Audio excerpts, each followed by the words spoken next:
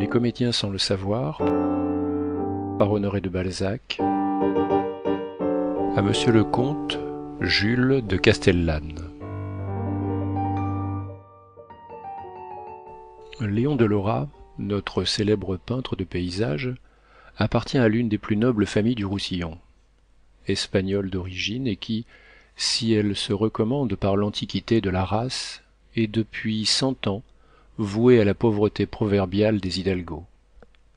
Venu de son pied léger à Paris du département des Pyrénées-Orientales, avec une somme de onze francs pour tout viatique, il y avait en quelque sorte oublié les misères de son enfance et sa famille au milieu des misères qui ne manquent jamais aux rapins dont toute la fortune est une intrépide vocation. Puis, les soucis de la gloire et ceux du succès furent d'autres causes d'oubli. Si vous avez suivi le cours sinueux et capricieux de ses études, peut-être vous souvenez-vous de Mistigris, élève de Schinner, un des héros de Un début dans la vie, scène de la vie privée, et de ses apparitions dans quelques autres scènes. En 1845, le paysagiste émule des Obéma, des Ruisdel, des Lorrain, ne ressemble plus au rapin dénué, frétillant que vous avez vu. Homme illustre, il possède une charmante maison rue de Berlin, non loin de l'hôtel de Brambourg, où demeure son ami Brideau, et près de la maison de Schinner, son premier maître. Il est membre de l'Institut et officier de la Légion d'honneur. Il a trente-neuf ans, il a vingt mille francs de rente, ses toiles sont payées au poids de l'or, et, ce qui lui semble plus extraordinaire que d'être invité parfois au bal de la cour, son nom jeté si souvent, depuis seize ans, par la presse à l'Europe, a fini par pénétrer dans la vallée des Pyrénées orientales où végètent trois véritables Laura, son frère aîné, son père et une vieille tante paternelle, mademoiselle Urraca Ilora. Dans la ligne maternelle, il ne reste plus au peintre célèbre qu'un cousin, neveu de sa mère, âgé de cinquante ans, habitant d'une petite ville manufacturière du département. Ce cousin fut le premier à se souvenir de Léon. En 1840 seulement, Léon de Lora reçut une lettre de M. Sylvestre Palafox Castel Gazonal, appelé tout simplement Gazonal, auquel il répondit qu'il était bien lui-même, c'est-à-dire le fils de feu Léonie Gazonal, femme du comte Fernand Didas.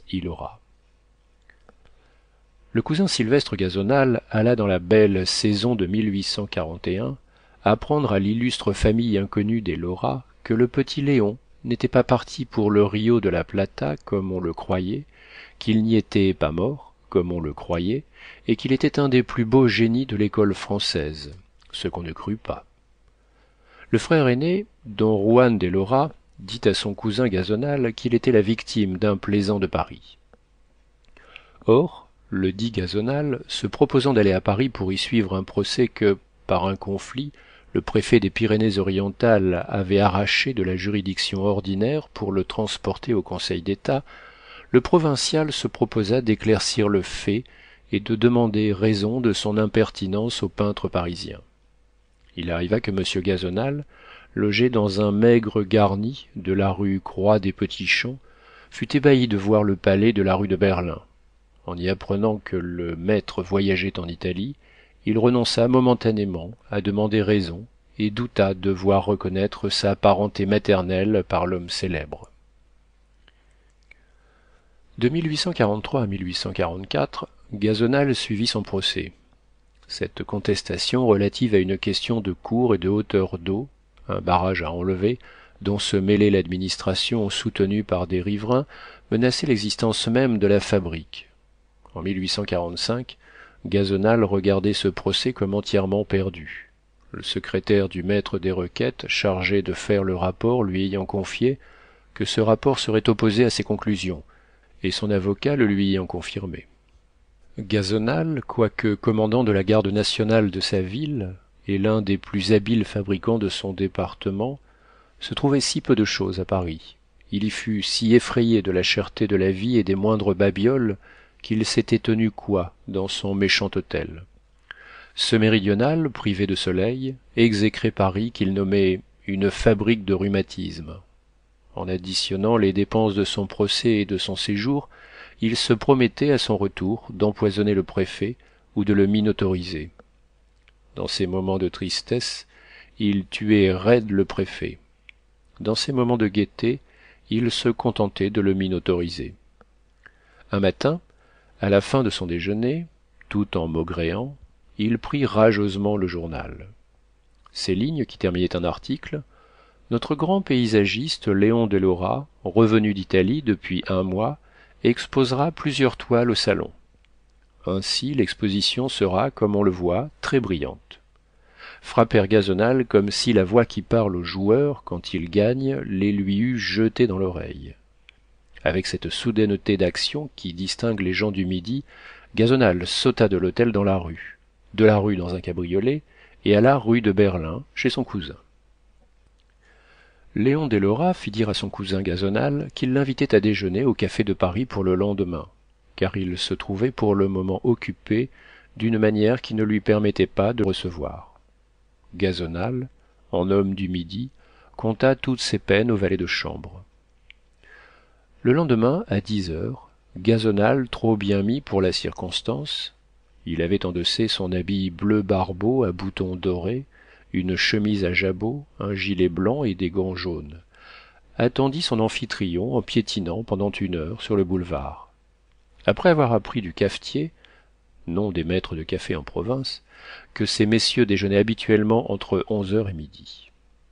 Vers onze heures et demie deux parisiens en simple lévite disait-il quand il raconta ses aventures à ceux de son endroit qui avaient l'air de rien du tout s'écrièrent en me voyant sur le boulevard voilà ton gazonal! Cet interlocuteur était bixiou de qui léon des lora s'était muni pour faire poser son cousin ne vous fâchez pas mon cher cousin je suis le vôtre! s'écria le petit léon en me serrant dans ses bras disait gazonal à ses amis à son retour. Le déjeuner fut splendide et je crus avoir la berlue en voyant le nombre de pièces d'or que nécessita la carte. Ces gens-là doivent gagner leur pesant d'or car mon cousin donna trente sols au garçon la journée d'un homme.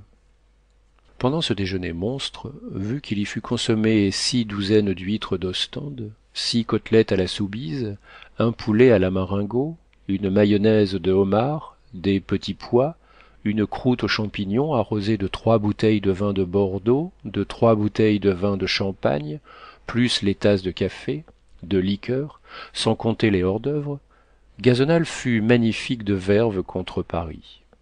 Le noble fabricant se plaignit de la longueur des pains de quatre livres de la hauteur des maisons de l'indifférence des passants les uns pour les autres du froid et de la pluie de la cherté des demi-fiacres et tout cela si spirituellement que les deux artistes se prirent de belle amitié pour gazonal et lui firent raconter son procès. Mon proxès dit-il en grasseyant les airs et accentuant tout à la provençale est quelque chose de bien simple. Ils veulent ma fabrique. J'ai trouve ici une bête d'avocate à qui je donne vingt francs à chaque fois pour ouvrir l'œil et je le trouve toujours endormi. C'est une limace qui roule vêture et j'y viens à pied il me carotte indignement je ne fais que le trasette de l'une à l'autre et je vois que j'aurais dû prendre voiture. Ou ne regarde ici que les gens qui se cachent dedans leur voiture. D'autre part le conseil d'état est une tas de fainéants qui laissent faire besogneux à des petites drôles soudoyées par notre préfète. Voilà mon proxès ils la veulent ma fabrique eh ben ils l'auront et s'arrangeront avec mes ouvrières qui sont une centaine et qui les feront sans avis à couper des triques. Allons cousin dit le paysagiste depuis quand es-tu ici? Depuis deux ânes ah le conflit du préfète il le paiera cher. Je prendrai sa vie et je donne la mienne à la cour d'assises. Quel est le conseiller d'état qui préside la section? Une ancienne journaliste qui ne vote pas dix sols et se nomme massol. Les deux parisiens échangèrent un regard. Le rapporteur? Encore plus drôle. C'est une maître des requêtes professeur de quelque chose à la sorbonne qui a écrit dans une revue et pour qui j'ai professe une mésestime profonde. Claude vignon dit bixiou. C'est cela répondit le méridional. Massol et vignon. Voilà la raison sociale sans raison. Enfin les trestaillons demandent au préfet il y a de la ressource dit léon de lora. Vois-tu cousin tout est possible à paris en bien comme en mal juste et injuste. Tout s'y fait tout s'y défait tout s'y refait. Du diable. Si je reste dix secondes dit plus c'est les pays les plus ennuyeux de la france. En ce moment les deux cousins et bixiou se promenaient d'un bout à l'autre de cette nappe d'asphalte sur laquelle de une heure à deux il est difficile de ne pas voir passer quelques-uns des personnages pour lesquels la renommée embouche l'une ou l'autre de ses trompettes. Autrefois ce fut la place royale puis le pont-neuf qui eurent ce privilège acquis aujourd'hui au boulevard des italiens. Paris dit alors le paysagiste à son cousin est un instrument dont il faut savoir jouer. Et si nous restons ici dix minutes je vais te donner une leçon. Tiens regarde lui dit-il en levant sa canne et désignant un couple qui sortait du passage de l'opéra. Qu'est-ce que c'est que ça? demanda gazonal.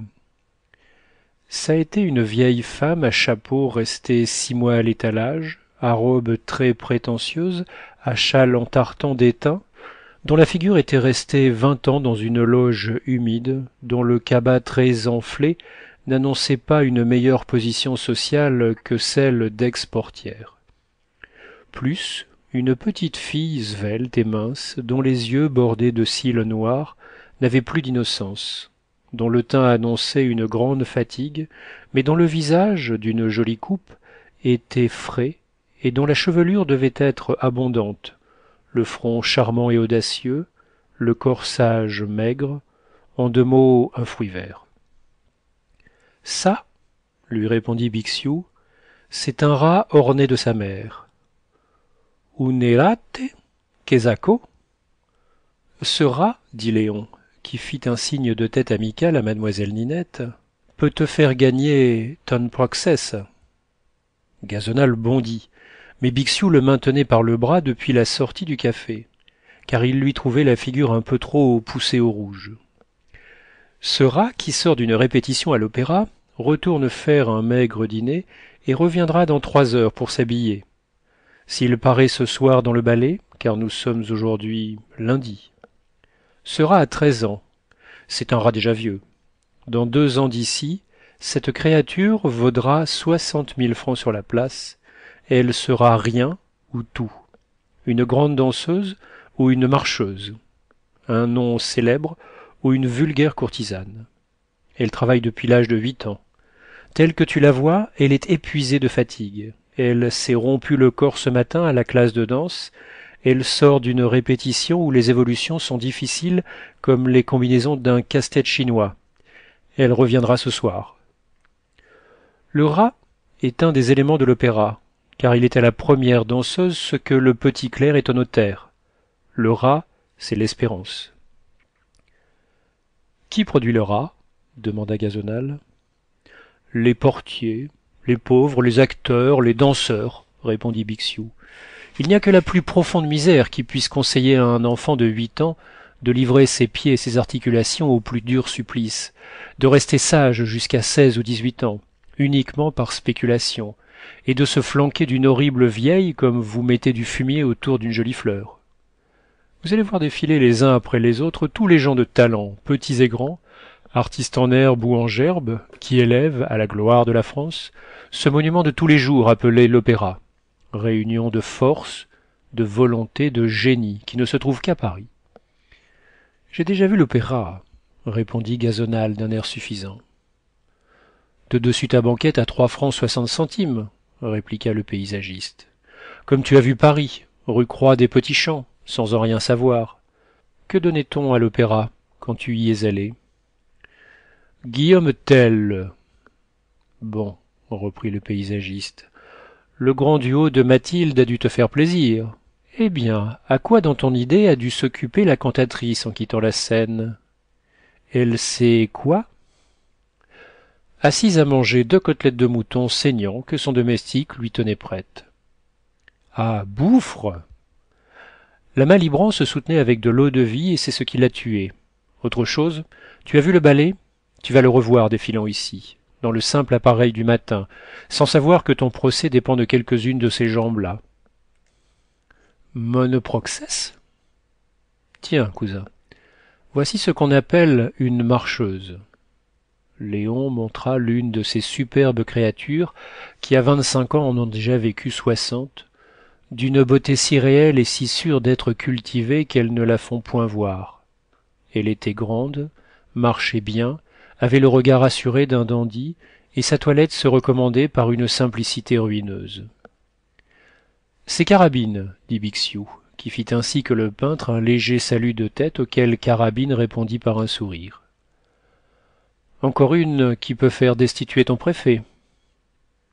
Une marcheuse? Mais qu'est-ce que c'est donc? La marcheuse est ou un rat d'une grande beauté que sa mère fausse ou a vendu le jour où elle n'a pu devenir ni premier ni second ni troisième sujet de la danse et où elle a préféré l'état de coryphée à tout autre. Par la grande raison qu'après l'emploi de sa jeunesse elle n'en pouvait pas prendre d'autre elle aurait été repoussée au petit théâtre où il faut des danseuses. Elle n'aurait pas réussi dans les trois villes de france où il se donne des ballets. Elle n'aura pas eu l'argent ou le désir d'aller à l'étranger car sachez-le la grande école de danse de paris fournit le monde entier de danseurs et de danseuses. Aussi pour qu'un rat devienne marcheuse c'est-à-dire figurante de la danse faut-il qu'elle ait eu quelque attachement solide qui l'ait retenue à paris. Un homme riche qu'elle n'aimait pas un pauvre garçon qu'elle aimait trop.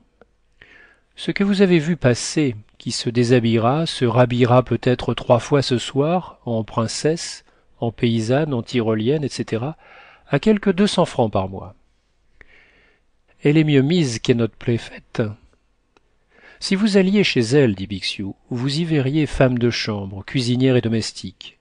Elle occupe un magnifique appartement rue saint-georges. Enfin elle est dans les proportions des fortunes françaises d'aujourd'hui avec les anciennes le débris de la fille d'opéra du dix-huitième siècle.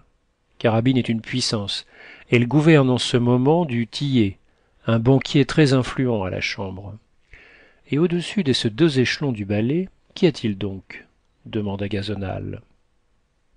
Regarde lui dit son cousin en lui montrant une élégante calèche qui passait au bout du boulevard rue grange batelière. Voici un des premiers sujets de la danse dont le nom sur l'affiche attire tout paris qui gagne soixante mille francs par an et qui vit en princesse. Le prix de ta fabrique ne te suffirait pas pour acheter le droit de lui dire trente fois bonjour eh bé je me le dirai bien moi-même. Ce ne sera pas si cher. Voyez-vous lui dit bixiou sur le devant de la calèche ce beau jeune homme. C'est un vicomte qui porte un beau nom. C'est son premier gentilhomme de la chambre celui qui fait ses affaires aux journaux qui va apporter des paroles de paix ou de guerre le matin au directeur de l'opéra ou qui s'occupe des applaudissements par lesquels on la salue quand elle entre sur la scène ou quand elle en sort ceci mes chers messieurs est le coup de grâce. Je n'ai soupçonné rien de paris. Eh bien sachez au moins tout ce qu'on peut voir en dix minutes. Au passage de l'opéra tenez dit bixiou. Deux personnes débouchaient en ce moment du passage un homme et une femme. La femme n'était ni laide ni jolie. Sa toilette avait cette distinction de forme de coupe de couleur qui révèle une artiste. Et l'homme avait assez l'air d'un chantre. Voilà lui dit une basse-taille et un second premier sujet de la danse. La basse-taille est un homme d'un immense talent mais la basse-taille étant un accessoire dans les partitions il gagne à peine ce que gagne la danseuse.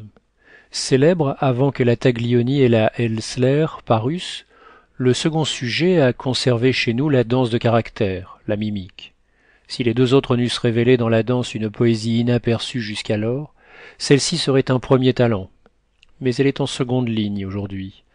Néanmoins elle palpe ses trente mille francs et a pour ami fidèle un pair de france très influent à la chambre. Tenez voici la danseuse du troisième ordre. Une danseuse qui n'existe que par la toute-puissance d'un journal.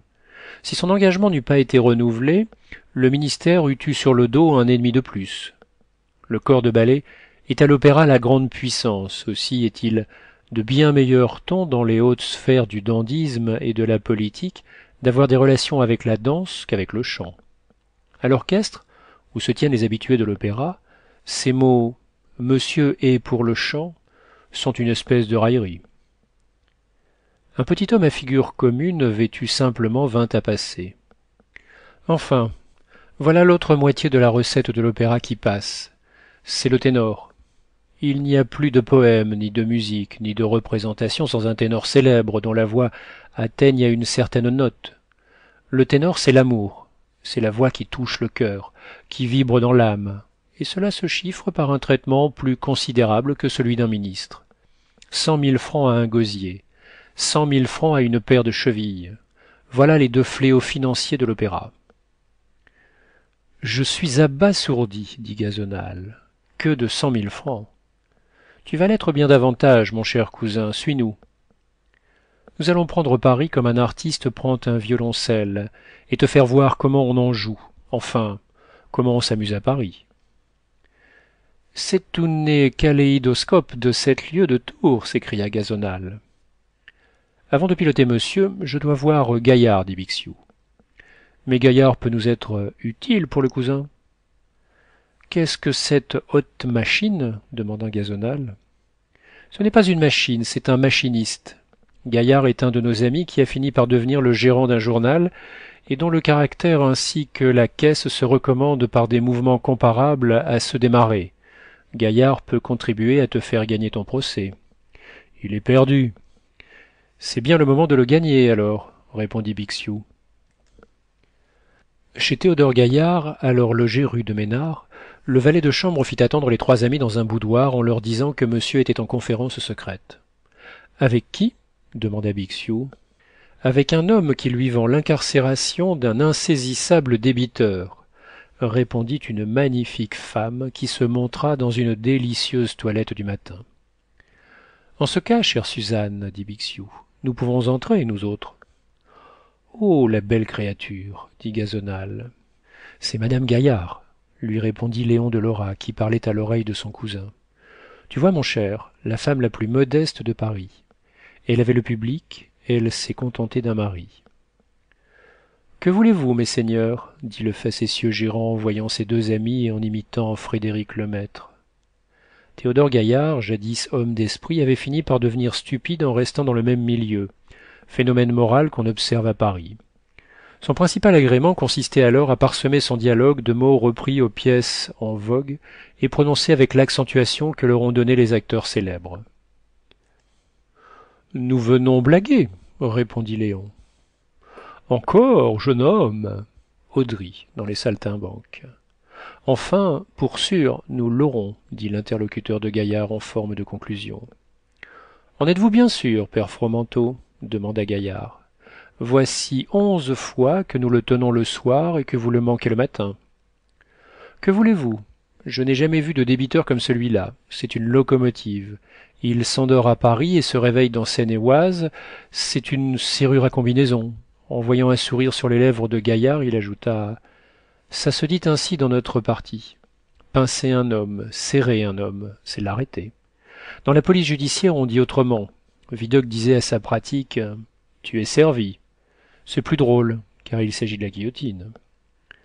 Sur un coup de coude que lui donna bixiou gazonal devint tout yeux et tout oreille monsieur graisse-t-il la pâte? demanda fromenteau d'un ton menaçant quoique froid. Il s'agit de cinquante centimes. Audry dans les saltimbanques répondit le gérant en prenant cent sous et les tendant à fromenteau et pour la canaille? reprit l'homme. Laquelle? demanda gaillard ceux que j'emploie répliqua fromenteau tranquillement. Y a-t-il au-dessous? demanda bixiou. Oui monsieur répondit l'espion il y a ceux qui nous donnent des renseignements sans le savoir et sans se les faire payer. Je mets les sots et les niais au-dessous de la canaille. Elle est souvent belle et spirituelle la canaille s'écria léon.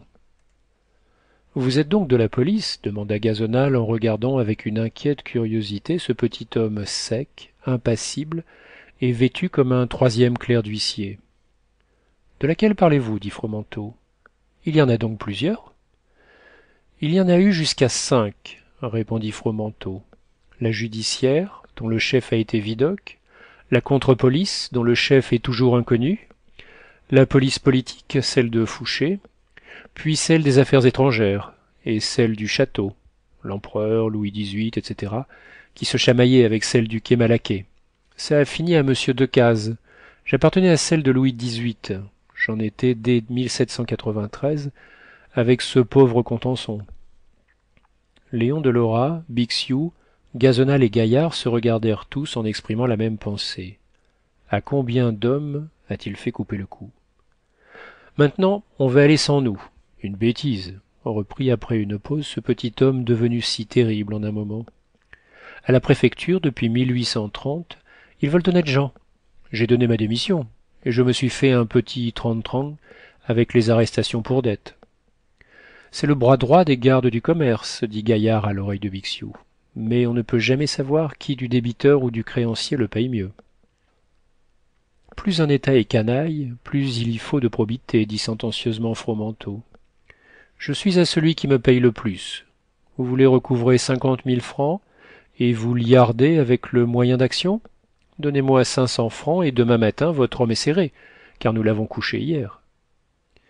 Cinq cents francs pour vous seul s'écria théodore gaillard. Lisette est sans châle répondit l'espion sans qu'aucun muscle de sa figure jouât.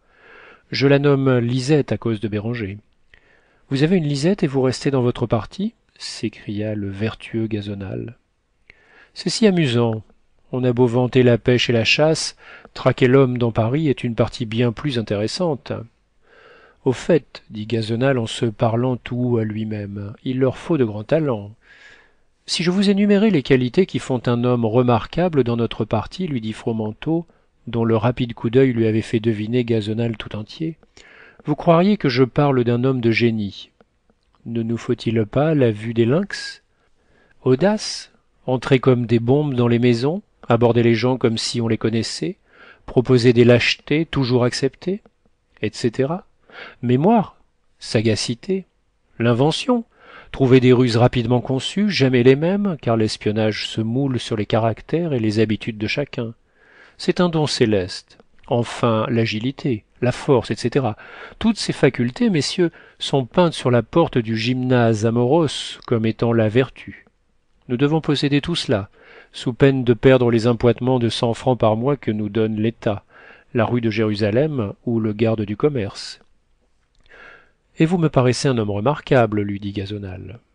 Fromenteau regarda le provincial sans lui répondre sans donner signe d'émotion et s'en alla sans saluer personne.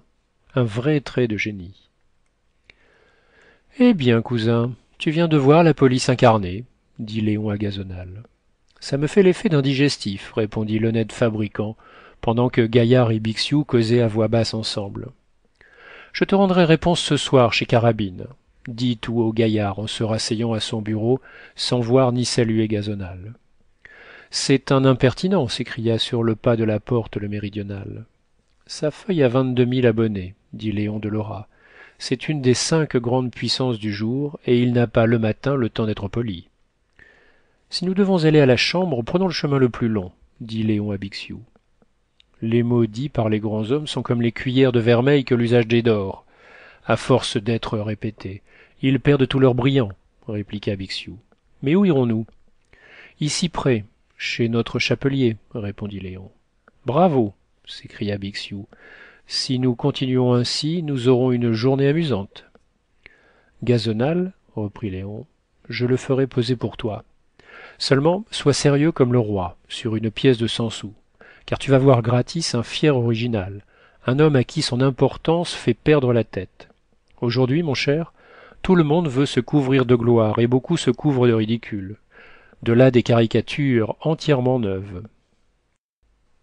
Quand tout le monde aura de la gloire comment pourra-t-on se distinguer? demanda gazonal. La gloire? Ce sera d'être un sot lui répondit bixiou. Votre cousin est décoré je suis bien vêtu. C'est moi qu'on regarde.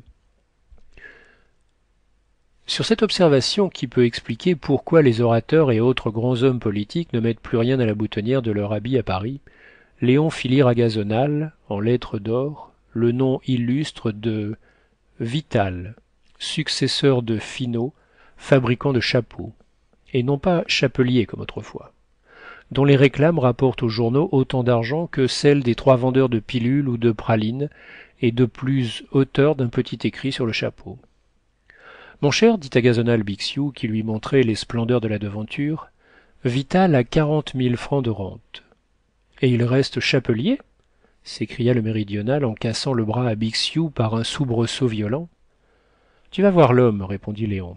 Tu as besoin d'un chapeau tu vas en avoir un gratis monsieur vital n'y est pas demanda bixiou qui n'aperçut personne au comptoir.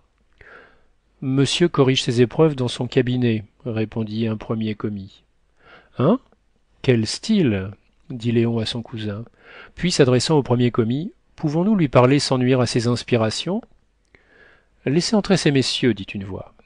C'était une voix bourgeoise la voix d'un éligible une voix puissante et bien rentée et vital daigna se montrer lui-même vêtu tout en drap noir décoré d'une magnifique chemise à jabot ornée d'un diamant. Les trois amis aperçurent une jeune et jolie femme assise au bureau travaillant à une broderie. Vital est un homme de trente à quarante ans d'une jovialité primitive rentrée sous la pression de ses idées ambitieuses. Il jouit de cette moyenne taille privilège des belles organisations. Assez gras il est soigneux de sa personne son front se dégarnit mais il aide à cette calvitie pour se donner l'air d'un homme dévoré par la pensée.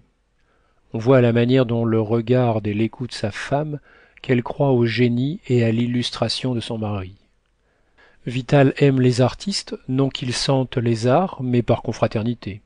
Car il se croit un artiste et le fait pressentir en se défendant de ce titre de noblesse en se mettant avec une constante préméditation à une distance énorme des arts pour qu'on lui dise mais vous avez élevé le chapeau jusqu'à la hauteur d'une science.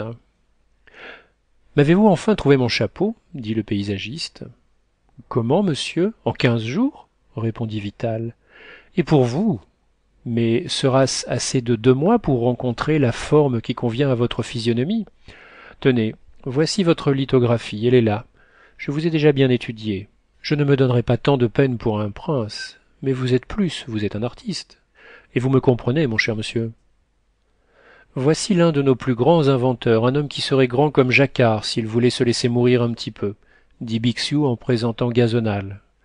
Notre ami fabricant de draps a découvert le moyen de retrouver l'indigo des vieux habits bleus et il voulait vous voir comme un grand phénomène car vous avez dit le chapeau c'est l'homme cette parole a ravi monsieur. Ah vital vous avez la foi vous croyez à quelque chose vous vous passionnez pour votre œuvre. Vital écoutait à peine il était devenu pâle de plaisir. Debout ma femme monsieur est un prince de la science. Madame vital se leva sur un geste de son mari. Gazonal la salua. Aurais-je l'honneur de vous coiffer? reprit vital avec une joyeuse obséquiosité. Au même prix que pour moi dit bixiou bien entendu je ne demande pour tout honoraire que le plaisir d'être quelquefois cité par vous messieurs. Il faut à monsieur un chapeau pittoresque dans le genre de celui de monsieur lousteau dit-il en regardant bixiou d'un air magistral. J'y songerai. Vous vous donnez bien de la peine dit gazonal. Oh pour quelques personnes seulement. Pour celles qui savent apprécier le prix de mes soins. Tenez dans l'aristocratie il n'y a qu'un seul homme qui ait compris le chapeau. C'est le prince de béthune comment les hommes ne songent-ils pas comme le font les femmes que le chapeau est la première chose qui frappe les regards dans la toilette? Et ne pensent-ils pas à changer le système actuel qui disons-le est ignoble? Mais le français est de tous les peuples celui qui persiste le plus dans une sottise. Je connais bien les difficultés messieurs.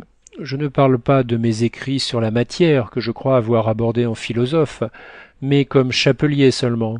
Moi seul ai découvert les moyens d'accentuer l'infâme couvre-chef dont jouit la France, jusqu'à ce que je réussisse à le renverser. Il montra l'affreux chapeau en usage aujourd'hui.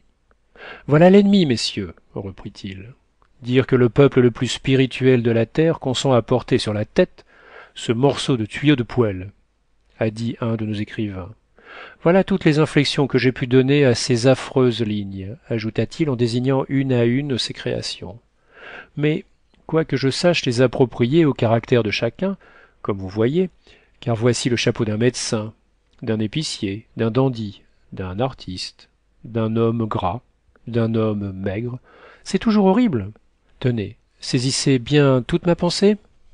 Il prit un chapeau bas de forme et à bords larges voici l'ancien chapeau de claude vignon grand critique homme libre et viveur.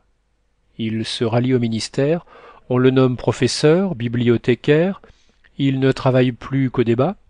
Il est fait maître des requêtes. Il a seize mille francs d'appointements il gagne quatre mille francs à son journal. Il est décoré.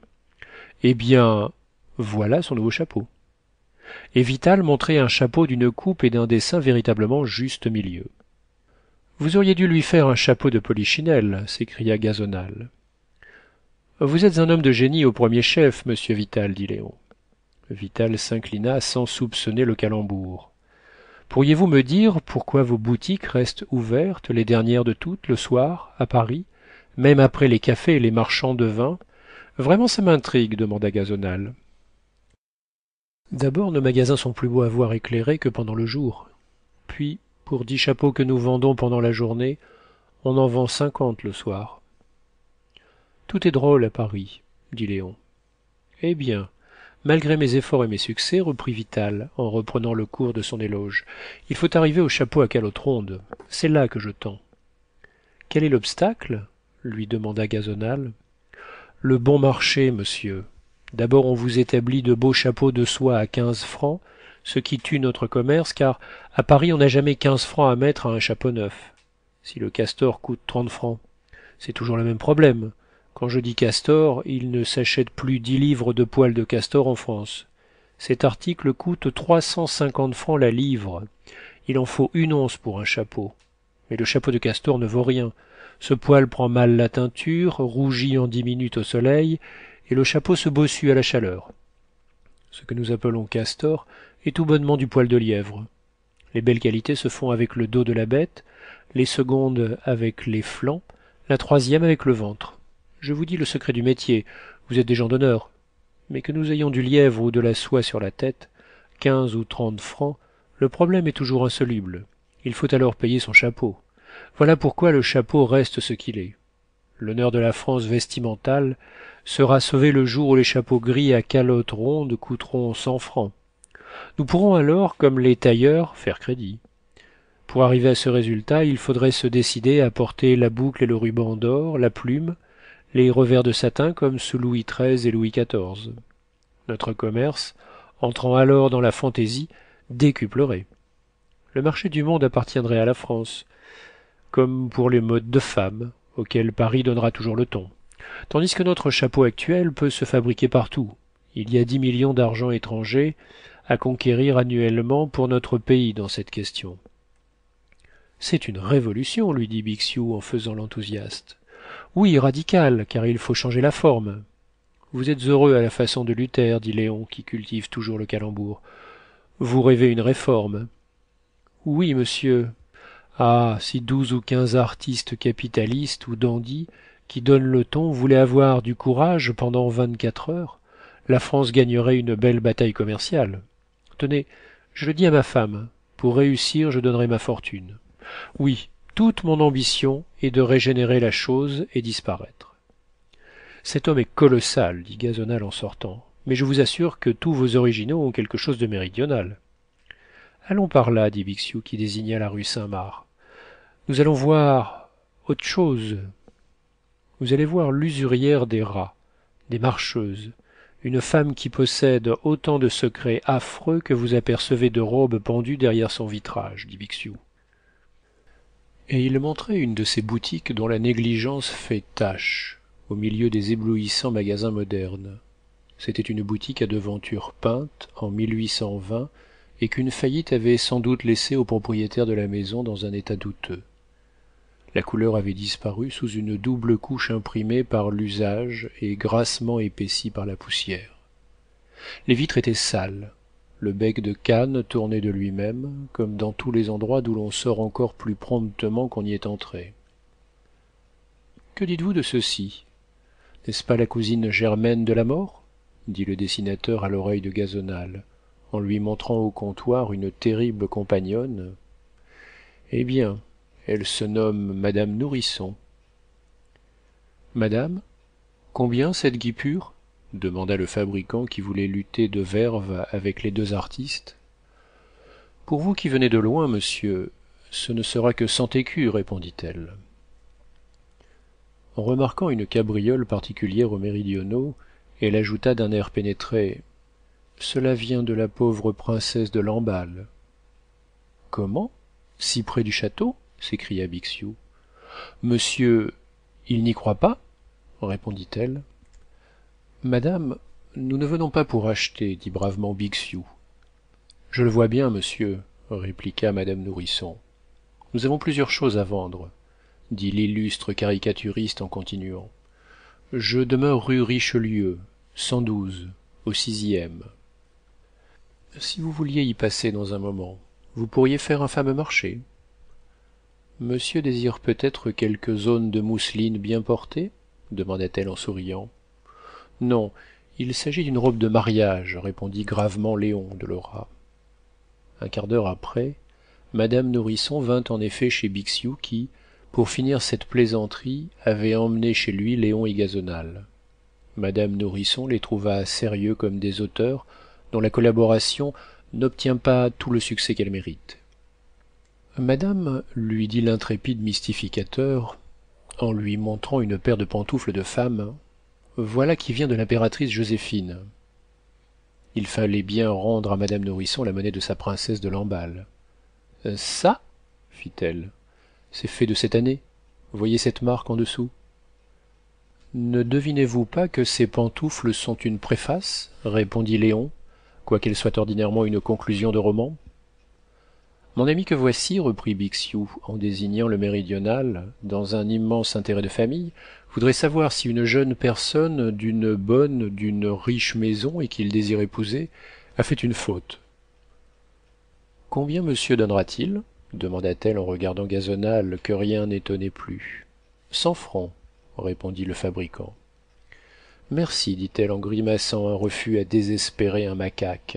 Que voulez-vous donc ma petite madame nourrisson? demanda bixiou qui la prit par la taille.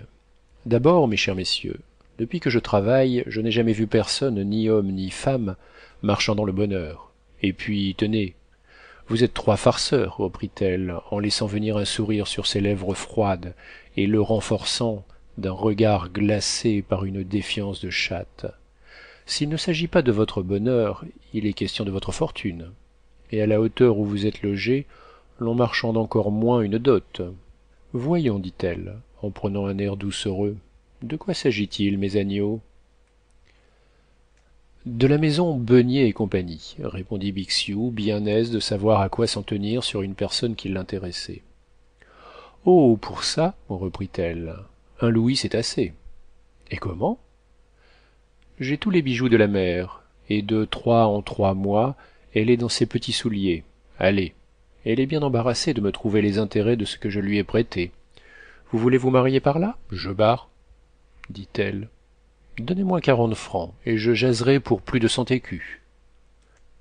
Gazonal fit voir une pièce de quarante francs et madame nourrisson donna des détails effrayants sur la misère secrète de quelques femmes dites comme il faut. La revendeuse mise en gaieté par la conversation se dessina. Sans trahir aucun nom aucun secret elle fit frissonner les deux artistes en leur démontrant qu'il se rencontrait peu de bonheur à paris qui ne fussent assis sur la base vacillante de l'emprunt. Elle possédait dans ses tiroirs des feux grand'mères des enfants vivants des défunts maris des petites filles mortes souvenirs entourés d'or et de brillants. Elle apprenait d'effrayantes histoires en faisant causer ses pratiques les unes sur les autres en leur arrachant leurs secrets dans les moments de passion de brouille de colère et dans ces préparations anodines que veut un emprunt pour se conclure comment avez-vous été amené à faire ce commerce demanda gazonal. Pour mon fils dit-elle avec naïveté. Presque toujours les revendeuses à la toilette justifient leur commerce par des raisons pleines de beaux motifs. Madame nourrisson se posa comme ayant perdu plusieurs prétendus. Trois filles qui avaient très mal tourné toutes ses illusions enfin. Elle montra comme étant celle de ses plus belles valeurs des reconnaissances du mont-de-piété pour prouver combien son commerce comportait de mauvaises chances. Elle se donna pour gêner aux trente prochains on la volait beaucoup disait-elle. Les deux artistes se regardèrent en entendant ce mot un peu trop vif. Tenez mes enfants je vas vous montrer comment l'on nous refait. Il ne s'agit pas de moi mais de ma voisine d'en face madame mahuchet la cordonnière pour femme j'avais prêté de l'argent à une comtesse une femme qui a trop de passion eu égard à ses revenus. Ça se carre sur de beaux meubles dans un magnifique appartement. Ça reçoit ça fait comme nous disons un esbrouffe du diable. Elle doit donc trois cents francs à sa cordonnière. Et ça donnait un dîner une soirée pas plus tard qu'avant-hier. La cordonnière qui apprend cela par la cuisinière vient me voir. Nous nous montons la tête elle veut faire une esclandre. Moi je lui dis ma petite mère mahuchet à quoi cela sert-il? À se faire haïr? Il vaut mieux obtenir de bons gages. À râleuse râleuse et demie. Et l'on épargne sa bile. Elle veut y aller me demande de la soutenir nous y allons. Madame n'y est pas connu nous l'attendrons dit la mère mahuchet dussé-je rester là jusqu'à minuit? Et nous nous campons dans l'antichambre et nous causons. Ah voilà les portes qui vont qui viennent des petits pas des petites voix. Moi cela me faisait de la peine. Le monde arrivé pour dîner. Vous jugez de la tournure que ça prenait. La comtesse envoie sa femme de chambre pour amadouer la mahuchet vous serez payé demain. Enfin toute l'école? Rien ne prend. La comtesse mise comme un dimanche arrive dans la salle à manger. Ma mahuchet qui l'entend ouvre la porte et se présente. Dame en voyant une table étincelant d'argenterie les réchauds les chandeliers tout brillant comme un écrin. Elle part comme du sodavâtre et lance sa fusée. Quand on dépense l'argent des autres on devrait être sobre ne pas donner à dîner. Être comtesse et devoir cent écus à une malheureuse cordonnière qui a sept enfants. Vous pouvez deviner tout ce qu'elle débagoule c'te femme qu'a peu d'éducation. Sur un mot d'excuse pas de fond de la comtesse ma mahuchet s'écrie eh madame voilà de l'argenterie. Engagez vos couverts et payez-moi. Prenez-les vous-même dit la comtesse en ramassant six couverts et les lui fourrant dans la main. Nous dégringolons les escaliers. Ah bah comme un succès. Non dans la rue les larmes sont venues à la mahuchet car elle est bonne femme. Elle a rapporté les couverts en faisant des excuses. Elle avait compris la misère de cette comtesse. Ils étaient en maille shore elle est restée à découvert dit léon de chez qui l'ancien mistigris reparaissait souvent. Ah mon cher monsieur dit madame nourrisson éclairée par ce calembour vous êtes un artiste vous faites des pièces de théâtre vous demeurez rue du helder et vous êtes resté avec madame antonia. Vous avez des tics que je connais. Allons vous voulez avoir quelque rareté dans le grand genre? Carabine ou mousqueton? Malaga ou génicadine? Malaga? Carabine? C'est nous qui les avons faites ce qu'elles sont s'écria léon de lora. Je vous jure ma chère madame nourrisson que nous voulions uniquement avoir le plaisir de faire votre connaissance et que nous souhaitons des renseignements sur vos antécédents savoir par quelle pente vous avez glissé dans votre métier dit bixiou. J'étais femme de confiance chez un maréchal de france le prince d'ysambourg dit-elle en prenant une pose de dorine. Un matin il vint une des comtesses les plus huppées de la cour impériale elle veut parler au maréchal et secrètement moi je me mets aussitôt en mesure d'écouter. Ma femme fond en larmes. Elle confie à ce benêt de maréchal le prince d'ysambourg ce condé de la république un benêt que son mari qui servait en espagne l'a laissé sans un billet de mille francs que si elle n'en a pas un ou deux à l'instant ses enfants sont sans pain. Elle n'a pas à manger demain. Mon maréchal assez donnant dans ce temps-là tire deux billets de mille francs de son secrétaire. Je regarde cette belle comtesse dans l'escalier sans qu'elle pût me voir. Elle riait d'un contentement si peu maternel que je me glisse jusque sous le péristyle et je lui entends dire tout bas à son chasseur chez le roi. J'y cours ma mère de famille entre chez ce fameux marchand rue richelieu vous savez. Elle se commande et paye une robe de quinze cents francs. On soldait alors une robe en la commandant le surlendemain elle pouvait paraître à un bal d'ambassadeurs harnachée comme une femme doit l'être pour plaire à la fois à tout le monde et à quelqu'un. De ce jour-là je me suis dit j'ai un état. Quand je ne serai plus jeune je prêterai sur leur nippe aux grandes dames car la passion ne calcule pas et paye aveuglément. Si c'est des sujets de vaudeville que vous cherchez je vous en vendrai elle partit sur cette tirade où chacune des phrases de sa vie antérieure avait déteint en laissant gazonal autant épouvanté de cette confidence que par cinq dents jaunes qu'elle avait montrées en essayant de sourire et qu'allons-nous faire? demanda gazonal des billets dit bixiou qui siffla son portier car j'ai besoin d'argent et je vous ferai voir à quoi servent les portiers. Vous croyez qu'ils servent à tirer le cordon? Ils servent à tirer d'embarras les gens sans aveu comme moi les artistes qu'ils prennent sous leur protection. Gazonal ouvrit des yeux de manière à faire comprendre ce mot un œil de bœuf. Un homme entre deux âges moitié grison moitié garçon de bureau mais plus huileux et plus huilé la chevelure grasse l'abdomen grassouillé le teint blafard et humide comme celui d'une supérieure de couvent chaussé de chaussons de lisière vêtu de drap bleu et d'un pantalon grisâtre se montra soudain que voulez-vous monsieur dit-il d'un air qui tenait du protecteur et du subordonné tout ensemble. Ravenouiller il se nomme ravenouiller dit bixiou qui se tourna vers gazonal. As-tu notre carnet d'échéances? Ravenouiller tira de sa poche de côté le livret le plus gluant que jamais gazonal eût vu. Inscris dessus à trois mois ces deux billets que tu vas me signer. Et bixiou présenta deux effets de commerce tout préparés faits à son ordre par ravenouiller que signa sur-le-champ et inscrivit sur le livret graisseux où sa femme notait les dettes des locataires. Merci ravenouiller dit bixiou. Tiens voici une loge pour le vaudeville. Oh ma fille s'amusera bien ce soir dit ravenouiller en s'en allant. Nous sommes ici soixante et onze locataires dit bixiou.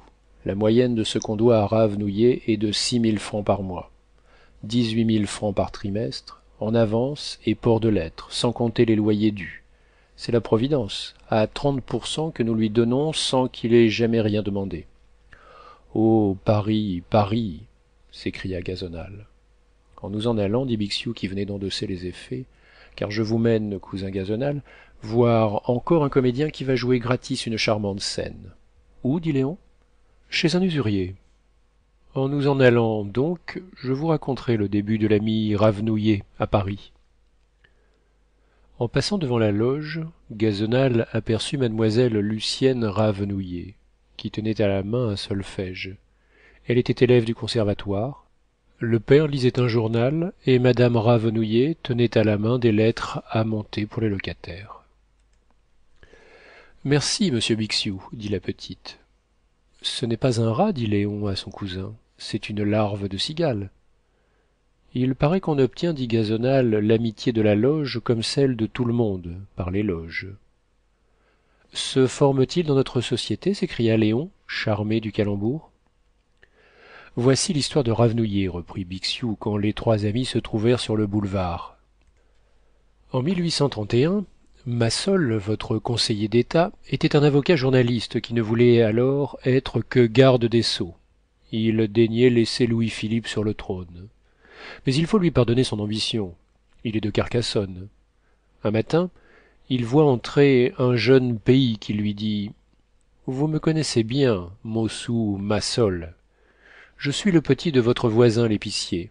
J'arrive de là-bas car l'on nous a dit qu'en venant ici chacun trouvait à se placer en entendant ces paroles massol fut pris d'un frisson et se dit en lui-même que s'il avait le malheur d'obliger ce compatriote à lui d'ailleurs parfaitement inconnu tout le département allait tomber chez lui. Qu'il y perdrait beaucoup de mouvements de sonnette onze cordons ses tapis que son unique valet le quitterait qu'il aurait des difficultés avec son propriétaire relativement à l'escalier et que les locataires se plaindraient de l'odeur d'ail et de diligence répandue dans la maison. Donc il regarda le solliciteur comme un boucher regarde un mouton avant de l'égorger. Mais quoique le pays eut reçu ce coup d'oeil ou ce coup de poignard il reprit ainsi nous dit massol. J'ai de l'ambition tout comme un autre et je ne veux retourner au pays que riche si j'y retourne car paris est l'antichambre du paradis. On dit que vous qui écrivez dans les journaux vous faites ici la pluie et le beau temps qu'il vous suffit de demander pour obtenir n'importe quoi dans le gouvernement. Mais si j'ai des facultés comme nous tous je me connais. Je n'ai pas d'instruction. Si j'ai des moyens je ne sais pas écrire et c'est un malheur car j'ai des idées. Je ne pense donc pas à vous faire concurrence. Je me juge je ne réussirai point. Mais comme vous pouvez tout et que nous sommes presque frères ayant joué pendant notre enfance ensemble je compte que vous me lancerez et que vous me protégerez. Oh. Il le faut. Je veux une place une place qui convienne à mes moyens à ce que je suis et où je puisse faire fortune. Massol allait brutalement mettre son pays à la porte en lui jetant au nez quelques phrases brutales lorsque le pays conclut ainsi. Je ne demande donc pas à entrer dans l'administration où l'on va comme des tortues que votre cousin est resté contrôleur ambulant depuis vingt ans. Non je voudrais seulement débuter. Au théâtre? lui dit massol heureux de ce dénouement. Non j'ai bien du geste de la figure de la mémoire mais il y a trop de tirages. Je voudrais débuter dans la carrière des portiers. Massol resta grave et lui dit il y aura bien plus de tirages mais du moins vous verrez les loges pleines et il lui fit obtenir comme dit ravenouillet son premier cordon. Je suis le premier dit léon qui me soit préoccupé du genre portier. Il y a des fripons de moralité des bateleurs de vanité des sycophantes modernes des septembriseurs caparaçonnés de gravité des inventeurs de questions palpitantes d'actualité qui prêchent l'émancipation des nègres l'amélioration des petits voleurs la bienfaisance envers les forçats libérés et qui laissent leurs portiers dans un état pire que celui des irlandais dans des prisons plus affreuses que des cabanons et qui leur donnent pour vivre moins d'argent par an que l'état n'en donne pour un forçat. Je n'ai fait qu'une bonne action dans ma vie. C'est la loge de mon portier.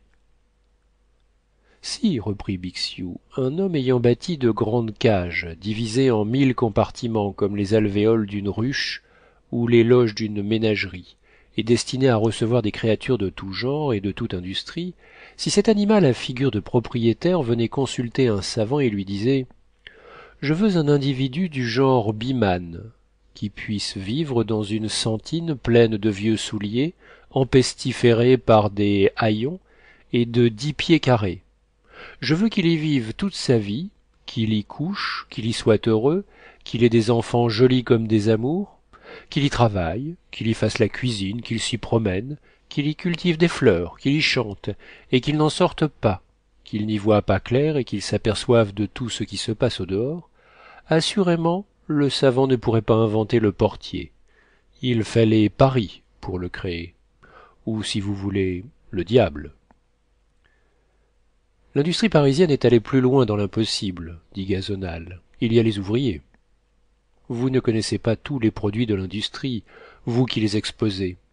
Notre industrie combat contre l'industrie du continent à coups de malheur comme sous l'empire napoléon combattait l'europe à coups de régiments nous voici chez mon ami vauvinet l'usurier dit bixiou.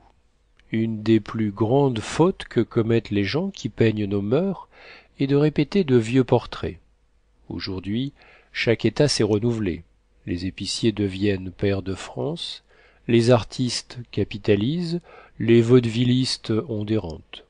Si quelques rares figures restent ce qu'elles étaient jadis en général les professions n'ont plus leur costume spécial ni leurs anciennes mœurs. Si nous avons eu gobseck gigonnet chaboisseau samanon les derniers des romains nous jouissons aujourd'hui de vauvinet l'usurier bon enfant petit maître qui hante les coulisses les lorettes et qui se promène dans un petit coupé bas à un cheval. Observez bien mon homme ami gazonal. Vous allez voir la comédie de l'argent. L'homme froid qui ne veut rien donner. L'homme chaud qui soupçonne un bénéfice. Écoutez-le surtout. Et tous trois ils entrèrent au deuxième étage d'une maison de très belle apparence située sur le boulevard des italiens et s'y trouvèrent environnés de toutes les élégances alors à la mode un jeune homme d'environ vingt-huit ans vint à leur rencontre d'un air presque riant car il vit léon de lora le premier. Vovinet donna la poignée de main en apparence la plus amicale à bixiou salua d'un air froid gazonal et les fit entrer dans un cabinet où tous les goûts du bourgeois se devinaient sous l'apparence artistique de l'ameublement. Et malgré les statuettes à la mode les mille petites choses appropriées à nos petits appartements par l'art moderne qui s'est fait aussi petit que le consommateur. Vovinet était mis comme les jeunes gens qui se livrent aux affaires avec une recherche excessive qui pour beaucoup d'entre eux est une espèce de prospectus. Je viens te chercher de la monnaie dit en riant bixiou qui présenta ses effets. Vovinet prit un air sérieux dont sourit gazonal tant il y eut de différence entre le visage riant et le visage de l'escompteur mis en demeure. Mon cher dit vovinet en regardant bixiou ce serait avec le plus grand plaisir que je t'obligerais mais je n'ai pas d'argent en ce moment. Ah bah. Oui j'ai tout donné tu sais à qui? Ce pauvre lousteau s'est associé pour la direction d'un théâtre avec un vieux vaudevilliste très protégé par le ministère il leur a fallu trente mille francs hier. Je suis à sec. Et tellement à sec que je vais envoyer chercher de l'argent chez cérizet pour payer cent louis perdus au lansquenet ce matin chez jenny cadine. Il faut que vous soyez bien à sec pour ne pas obliger ce pauvre bixiou dit léon de lora car il est bien mauvaise langue quand il se trouve à la côte. Mais reprit bixiou je ne puis dire que du bien de vovinet il est plein de bien mon cher reprit vovinet il me serait impossible eussé-je de l'argent de t'escompter. Fût-ce à cinquante pour cent des billets souscrits par ton portier. Le ravenouiller n'est pas demandé. Ce n'est pas là du rothschild. Je te préviens que cette valeur est très éventée. Il te faut inventer une autre maison. Cherche un oncle.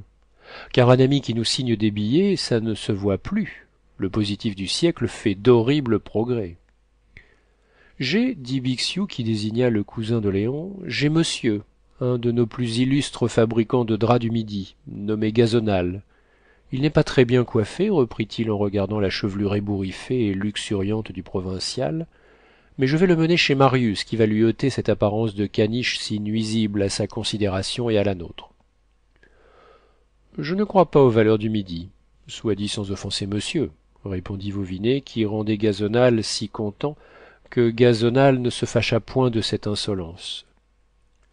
Gazonal en homme excessivement pénétrant crut que le peintre et bixiou voulaient pour lui apprendre à connaître paris lui faire payer mille francs le déjeuner du café de paris car le fils du roussillon n'avait pas encore quitté cette prodigieuse défiance qui bastionne à paris l'homme de province comment veux-tu que j'aie des affaires à deux cent cinquante lieues de paris dans les pyrénées? Ajouta vovinet c'est donc dit reprit bixiou.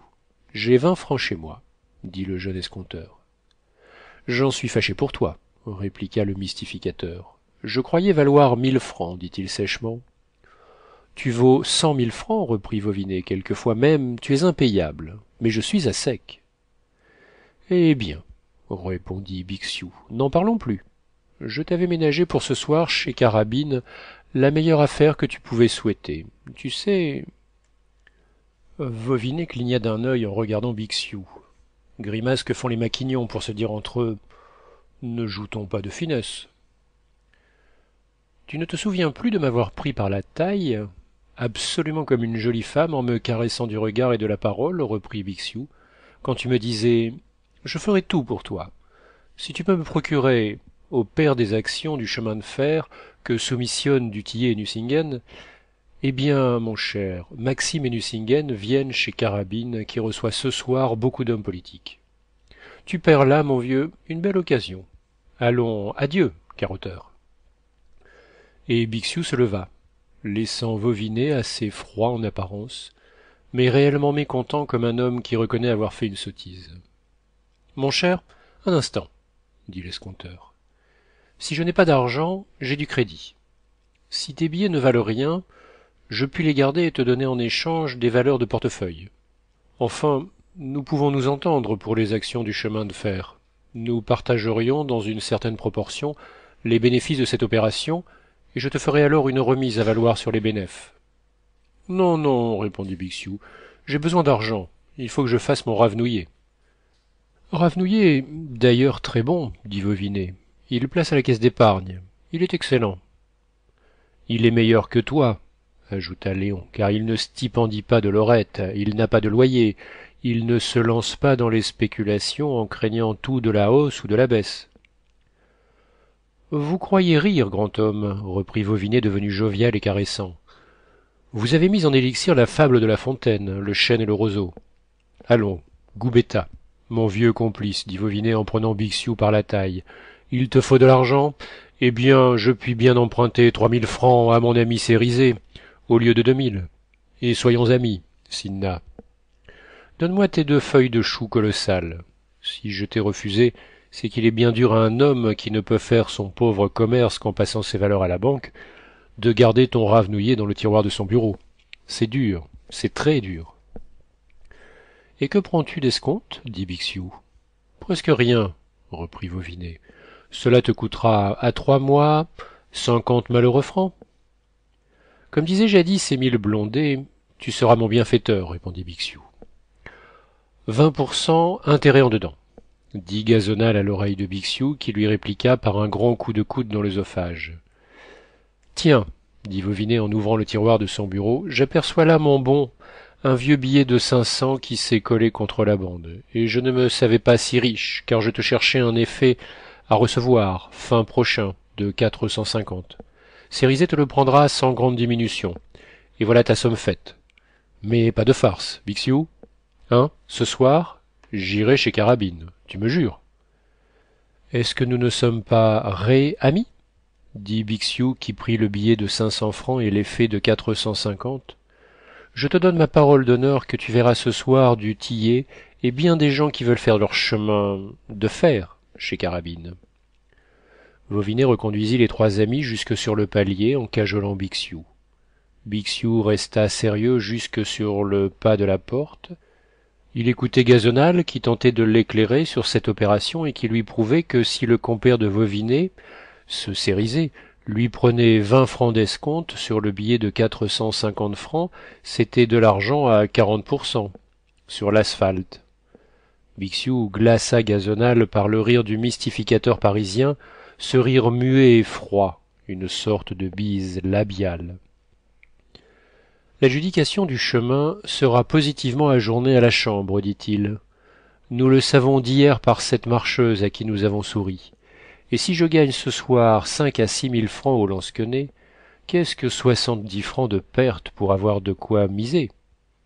Le lansquenet est encore une des mille facettes de paris comme il est reprit léon. Aussi cousin comptons-nous te présenter chez une duchesse de la rue saint-georges où tu verras l'aristocratie des lorettes et où tu peux gagner ton procès. Or il est impossible de t'y montrer avec tes cheveux pyrénéens. Tu as l'air d'un hérisson. Nous allons te mener ici près place de la bourse chez marius un autre de nos acteurs. Quel est ce nouvel acteur? Voilà l'anecdote répondit bixiou. En un toulousain nommé cabot jeune perruquier dévoré d'ambition vint à paris et y leva boutique. Je me sers de votre argot. Cet homme de génie il jouit de vingt-quatre mille francs de rente à libourne où il s'est retiré. Comprit que ce nom vulgaire et ignoble n'atteindrait jamais à la célébrité.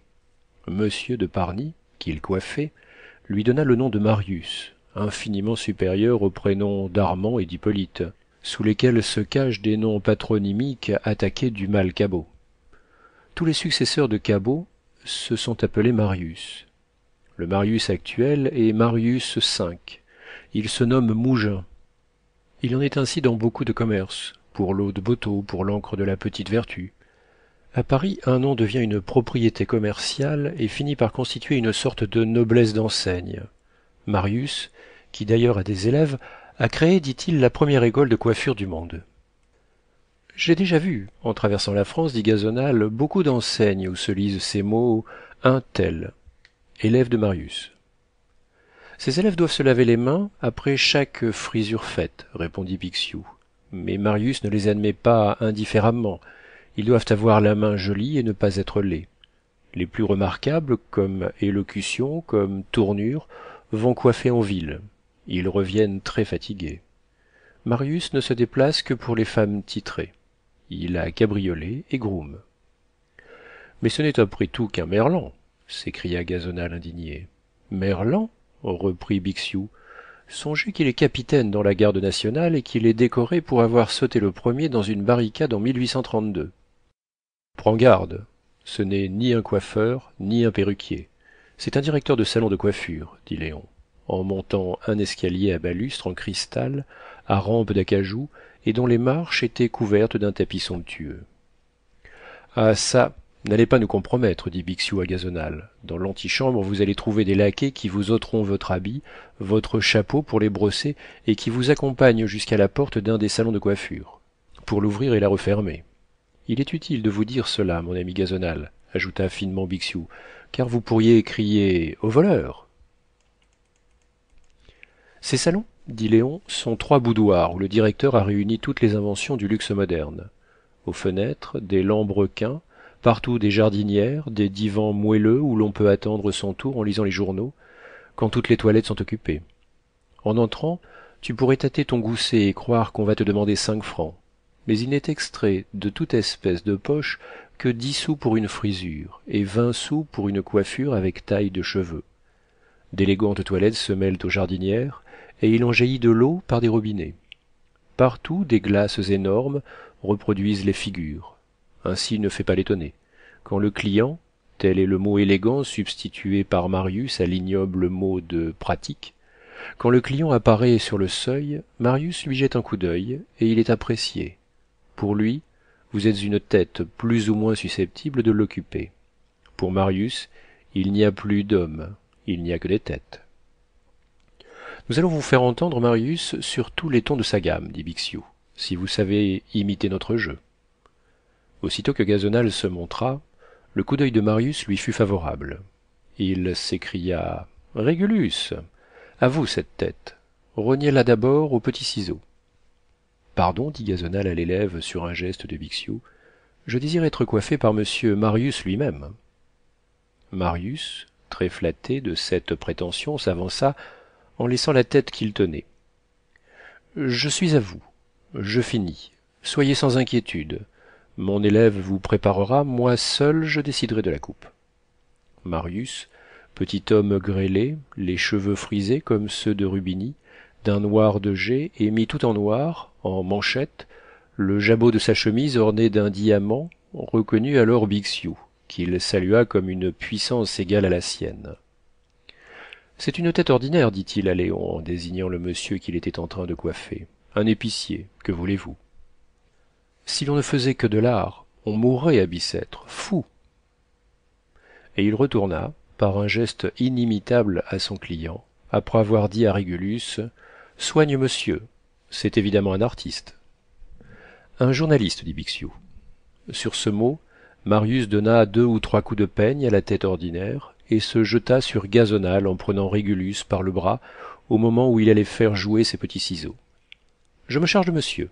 Voyez monsieur dit-il à l'épicier reflétez vous dans la grande glace cyan. Le laquais entra et s'empara du client pour le vêtir. Vous paierez à la caisse monsieur dit marius à la pratique stupéfaite qui déjà tirait sa bourse. Est-ce bien utile mon cher de procéder à cette opération des petits ciseaux dit aucune tête ne m'arrive que nettoyer répondit l'illustre coiffeur. Mais pour vous je ferai celle de monsieur tout entière. Mes élèves ébauchent car je n'y tiendrai pas. Le mot de tout le monde est le vôtre. Être coiffé par marius? Je ne puis donner que le fini. Dans quel journal travaille monsieur? A votre place j'aurais trois ou quatre marius dit gazonal. Ah monsieur je le vois et feuilletoniste dit marius hélas en coiffure où l'on paye de sa personne c'est impossible. Pardon. Il quitta gazonal pour aller surveiller régulus qui préparait une tête nouvellement arrivée. Il fit en frappant la langue contre le palais un bruit désapprobatif qui peut se traduire par allons bon dieu ça n'est pas assez carré. Votre coup de ciseau fait des hachures. Tenez voilà. Régulus il ne s'agit pas de tondre des caniches c'est des hommes qui ont leur caractère et si vous continuez à regarder le plafond au lieu de vous partager entre la glace et la face vous déshonorerez ma maison. Vous êtes sévère monsieur marius. Je leur dois les secrets de l'art. C'est donc un art dit gazonal. Marius indigné regarda gazonal dans la glace et s'arrêta. Le peigne d'une main les ciseaux de l'autre. Monsieur vous en parlez comme un enfant et cependant à l'accent vous paraissez être du midi le pays des hommes de génie. Oui je sais qu'il faut une sorte de goût réplique gazonal. Mais taisez-vous donc monsieur j'attendais mieux de vous. C'est-à-dire qu'un coiffeur je ne dis pas un bon coiffeur car on est où l'on n'est pas coiffeur. Un coiffeur c'est plus difficile à trouver que qu'est-ce que je dirais bien qu'un je ne sais pas quoi un ministre. Restez en place non car on ne peut pas juger de la valeur d'un ministre. Les rues sont pleines de ministres. Un paganini? Non ce n'est pas assez. Un coiffeur monsieur? Un homme qui devine votre âme et vos habitudes? Afin de vous coiffer à votre physionomie il lui faut ce qui constitue un philosophe. Et les femmes donc? Tenez les femmes nous apprécient elles savent ce que nous valons nous valons la conquête qu'elles veulent faire le jour où elles se font coiffer pour remporter un triomphe. C'est-à-dire qu'un coiffeur on ne sait pas ce que c'est. Tenez moi qui vous parle je suis à peu près ce qu'on peut trouver de sans me vanter on me connaît. Eh bien non je trouve qu'il doit y avoir mieux. L'exécution voilà la chose. Ah si les femmes me donnaient carte blanche si je pouvais exécuter tout ce qui me vient d'idée c'est que j'ai voyez-vous une imagination d'enfer. Mais les femmes ne s'y prêtent pas. Elles ont leurs plans elles vous fourrent des coups de doigts ou de peigne quand vous êtes parti dans nos délicieux édifices qui devraient être gravés et recueillis. Car nos œuvres monsieur ne durent que quelques heures. Un grand coiffeur est ce serait quelque chose comme euh, carême et vestris dans leur partie. Par ici la tête là s'il vous plaît je fais les faces bien notre profession est gâtée par des massacres qui ne comprennent ni leur époque ni leur art. Il y a des marchands de perruques ou d'essence à faire pousser les cheveux. Ils ne voient que des flacons à vous vendre. Cela fait pitié. C'est du commerce. Ces misérables coupent les cheveux ou ils coiffent comme ils peuvent. Moi quand je suis arrivé de toulouse ici j'avais l'ambition de succéder au grand marius d'être un vrai marius et d'illustrer le nom. À moi seul plus que les quatre autres. Je me suis dit vaincre ou mourir. Là tenez-vous droit je vais vous achever. C'est moi qui le premier ai fait de l'élégance. J'ai rendu mes salons l'objet de la curiosité. Je dédaigne l'annonce et ce que coûte l'annonce je le mettrai monsieur en bien-être en agrément. L'année prochaine j'aurai dans un petit salon un quatuor. On fera de la musique et de la meilleure. Oui il faut charmer les ennuis de ceux que l'on coiffe je ne me dissimule pas les déplaisirs de la pratique. Regardez-vous. Se faire coiffer c'est fatigant. Peut-être autant que de poser pour son portrait.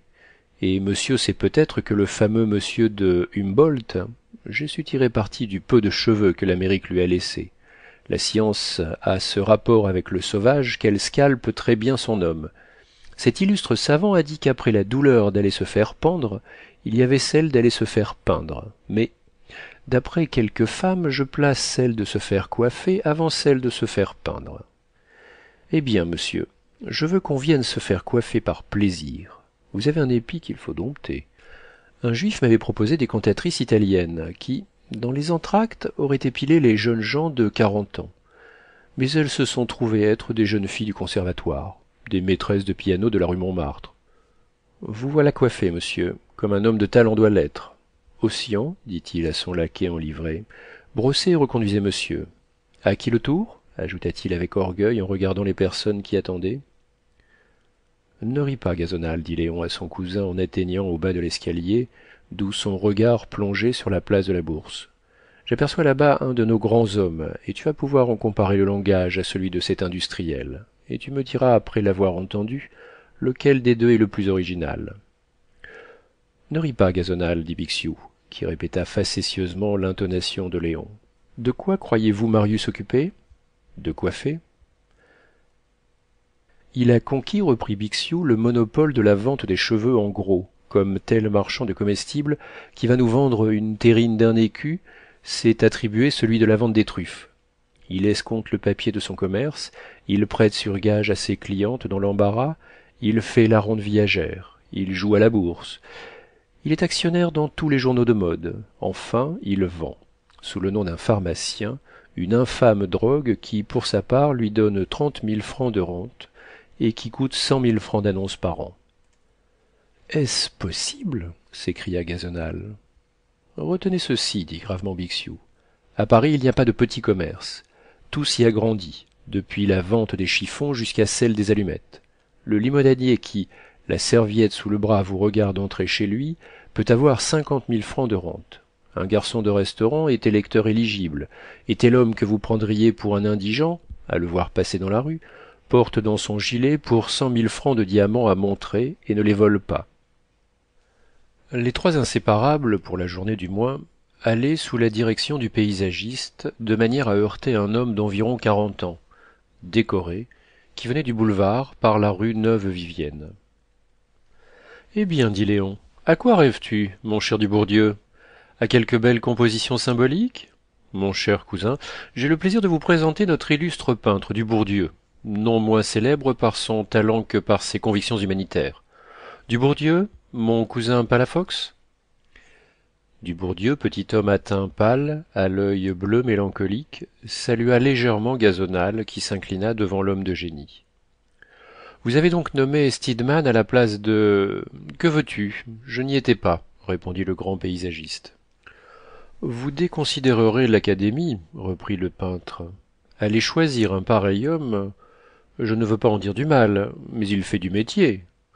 Où mènera-t-on le premier des arts?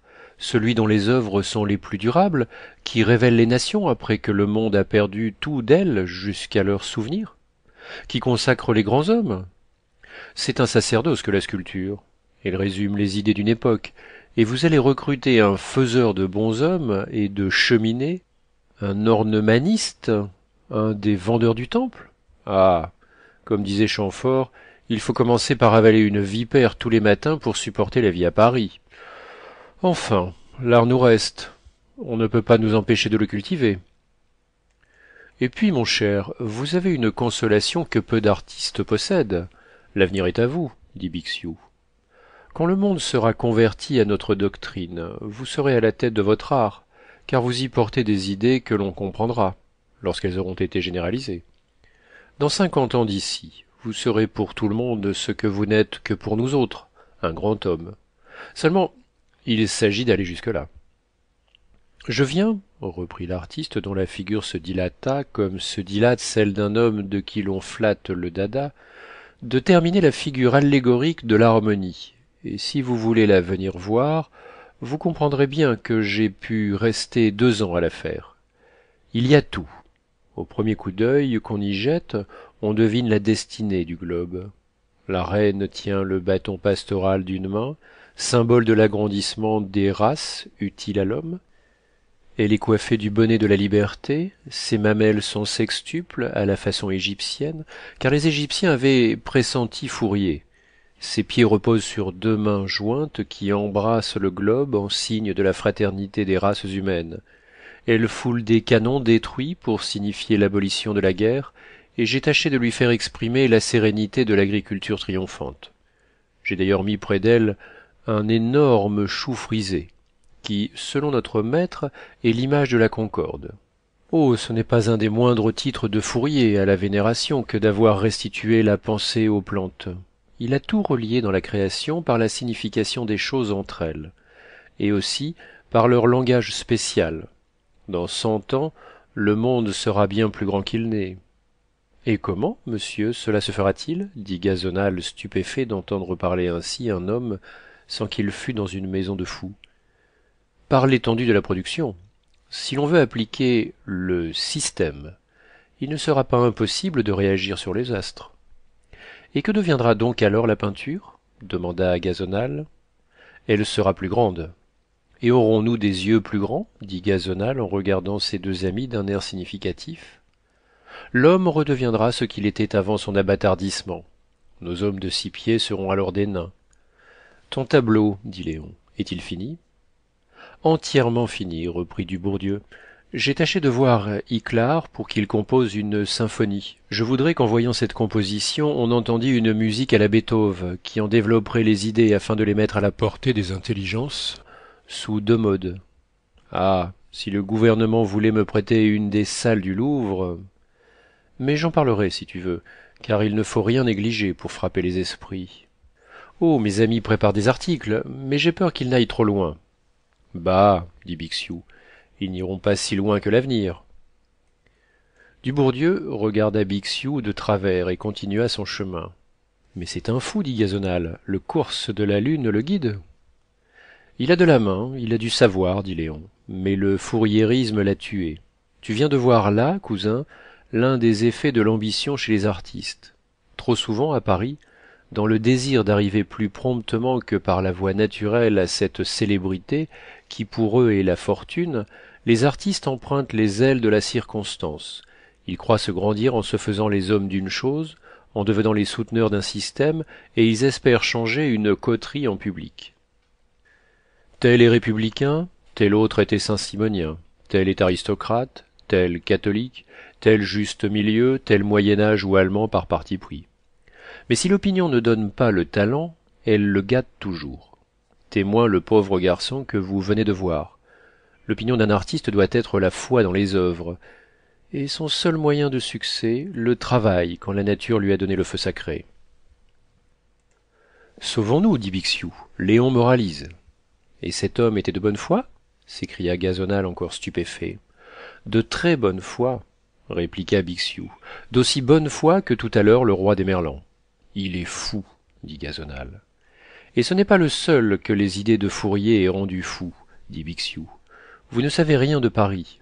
Demandez-y cent mille francs pour réaliser l'idée la plus utile au genre humain pour essayer quelque chose de pareil à la machine à vapeur vous y mourrez comme salomon de caux à bicêtre mais s'il s'agit d'un paradoxe on se fait tuer pour cela soi et sa fortune. Eh bien ici il en est des systèmes comme des choses les journaux impossibles y ont dévoré des millions depuis quinze ans. Ce qui rendait votre procès si difficile à gagner c'est que vous avez raison et qu'il y a selon vous des raisons secrètes pour le préfet. Conçois tu qu'une fois qu'il a compris le pari moral un homme d'esprit puisse vivre ailleurs? dit léon à son cousin. Si nous menions gazonal chez la mère fontaine dit bixiou qui fit signe à un cocher de citadine d'avancer ce sera passer du sévère au fantastique. Cocher vieille rue du temple. Et tous trois ils roulèrent dans la direction du marais. Qu'allez-vous me faire voir? demanda gazonal. La preuve de ce que t'a dit bixiou répondit léon en te montrant une femme qui se fait vingt mille francs par an en exploitant une idée.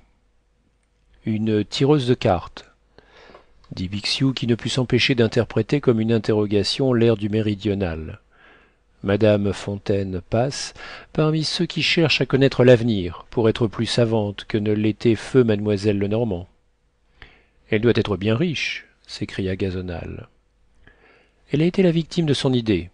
Tant que la loterie a existé répondit bixiou. Car à paris il n'y a pas de grandes recettes sans grandes dépenses. Toutes les fortes têtes s'y fêlent comme pour donner une soupape à leur vapeur. Tous ceux qui gagnent beaucoup d'argent ont des vices ou des fantaisies sans doute pour établir un équilibre. Et maintenant que la loterie est abolie demanda gazonal eh bien elle a un neveu pour qui elle amasse. Une fois arrivés les trois amis aperçurent dans une des plus vieilles maisons de cette rue un escalier à marches palpitantes à contremarche en boue raboteuse qui les mena dans le demi-jour et par une puanteur particulière aux maisons à allées jusqu'au troisième étage à une porte que le dessin seul peut rendre. La littérature y devant perdre trop de nuit pour la peindre convenablement. Une vieille en harmonie avec la porte et qui peut-être était la porte animée introduisit les trois amis dans une pièce servant d'antichambre où malgré la chaude atmosphère qui baignait les rues de paris ils sentirent le froid glacial des cryptes les plus profondes il y venait un air humide d'une cour intérieure qui ressemblait à un vaste soupirail. Le jour y était gris et sur l'appui de la fenêtre se trouvait un petit jardin plein de plantes malsaines. Dans cette pièce enduite d'une substance grasse et fuligineuse les chaises la table tout avait l'air misérable. Le carreau suintait comme un alcarazas. Enfin le moindre accessoire y était en harmonie avec l'affreuse vieille au nez crochu à la face pâle et vêtue de haillons décents qui dit aux consultants de s'asseoir en leur apprenant qu'on n'entrait que un à un chez madame. Gazonal qui faisait l'intrépide entra bravement et se trouva devant l'une de ces femmes oubliées par la mort qui sans doute les oublie à dessein pour laisser quelques exemplaires d'elle-même parmi les vivants c'était une face desséchée où brillaient deux yeux gris d'une immobilité fatigante. Un nez rentré barbouillé de tabac des osselets très bien montés par des muscles assez ressemblants et qui sous prétexte d'être des mains battaient nonchalamment des cartes comme une machine dont le mouvement va s'arrêter. Le corps une espèce de manche à balai décemment couvert d'une robe jouissait des avantages de la nature morte il ne remuait point. Sur le front s'élevait une coiffe en velours noir. Madame fontaine c'était une vraie femme. Avait une poule noire à sa droite et un gros crapaud appelé astaroth à sa gauche que gazonal ne vit pas tout d'abord. Le crapaud d'une dimension surprenante effrayait encore moins par lui-même que par deux topazes grandes comme des pièces de cinquante centimes et qui jetaient deux lueurs de lampe il est impossible de soutenir ce regard. Comme disait feu lassailly qui couché dans la campagne voulut avoir le dernier avec un crapaud par lequel il fut fasciné. Le crapaud est un être inexpliqué. Peut-être la création animale y compris l'homme s'y résume t il car disait la saillie le crapaud vit indéfiniment et comme on sait c'est celui de tous les animaux créés dont le mariage dure le plus longtemps. La poule noire avait sa cage à deux pieds de la table couverte d'un tapis vert et y venait par une planche qui faisait comme un pont-levis entre la cage et la table. Quand cette femme la moins réelle des créatures qui meublaient ce taudis hoffmannique dit à gazonal coupez l'honnête fabricant sentit un frisson involontaire. Ce qui rend ces créatures si formidables c'est l'importance de ce que nous voulons savoir on vient leur acheter de l'espérance et elles le savent bien. L'antre de la sibylle était beaucoup plus sombre que l'antichambre. On n'y distinguait pas la couleur du papier. Le plafond noirci par la fumée loin de refléter le peu de lumière que donnait la croisée obstruée de végétations maigres et pâles en absorbait une grande partie. Mais ce demi-jour éclairait en plein la table à laquelle la sorcière était assise. Cette table le fauteuil de la vieille et celui sur lequel siégeait gazonal composaient tout le mobilier de cette petite pièce coupée en deux par une soupente où couchait sans doute madame fontaine. Gazonal entendit par une petite porte entrebâillée le murmure particulier à un pot-au-feu qui bout ce bruit de cuisine accompagné d'une odeur composite où dominait celle d'un évier mêlait incongrument l'idée des nécessités de la vie réelle aux idées d'un pouvoir surnaturel. C'était le dégoût dans la curiosité. Gazonal aperçut une marche en bois blanc la dernière sans doute de l'escalier intérieur qui menait à la soupente. Il embrassa tous ces détails par un seul coup d'oeil et il eut des nausées c'était bien autrement effrayant que les récits des romanciers et les scènes des drames allemands. C'était une vérité suffocante. L'air dégageait une pesanteur vertigineuse. L'obscurité finissait par agacer les nerfs. Quand le méridional stimulé par une espèce de fatuité regarda le crapaud il éprouva comme une chaleur d'émétique au creux de l'estomac en ressentant une terreur assez semblable à celle du criminel devant le gendarme il essaya de se réconforter en examinant madame fontaine mais il rencontra deux yeux presque blancs dont les prunelles immobiles et glacées lui furent insupportables. Le silence devint alors effrayant. Que voulez-vous monsieur? dit madame fontaine à gazonal. Le jeu de cinq francs? Le jeu de dix francs? Ou le grand jeu? Le jeu de cinq francs est déjà bien assez cher répondit le méridional qui faisait en lui-même des efforts inouïs pour ne pas se laisser impressionner par le milieu dans lequel il se trouvait. Au moment où gazonal essayait de se recueillir une voix infernale le fit sauter sur son fauteuil. La poule noire caquetait va-t'en ma fille va-t'en. Monsieur ne veut dépenser que cinq francs et la poule parut avoir compris sa maîtresse car après être venue à un pas des cartes elle alla se remettre gravement à sa place quelle fleur aimez-vous? demanda la vieille d'une voix enrouée par les humeurs qui montaient et descendaient incessamment dans ses bronches la rose. Quelle couleur affectionnez-vous le bleu. Quel animal préférez-vous le cheval. Pourquoi ces questions? demanda-t-il à son tour l'homme tient à toutes les formes par ses états antérieurs dit-elle sentencieusement. De là viennent ses instincts et ses instincts dominent sa destinée. Que mangez-vous avec le plus de plaisir? Le poisson le gibier les céréales la viande de boucherie les douceurs les légumes ou les fruits? Le gibier. En quel mois êtes-vous né? Septembre. Avancez votre main madame fontaine regarda fort attentivement les lignes de la main qui lui étaient présentées.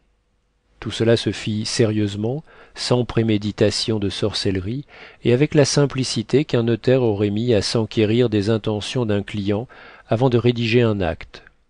Les cartes suffisamment mêlées elle pria gazonal de couper et de faire lui-même trois paquets. Elle reprit les paquets les étala l'un au-dessus de l'autre les examina comme un joueur examine les trente-six numéros de la roulette avant de risquer sa mise.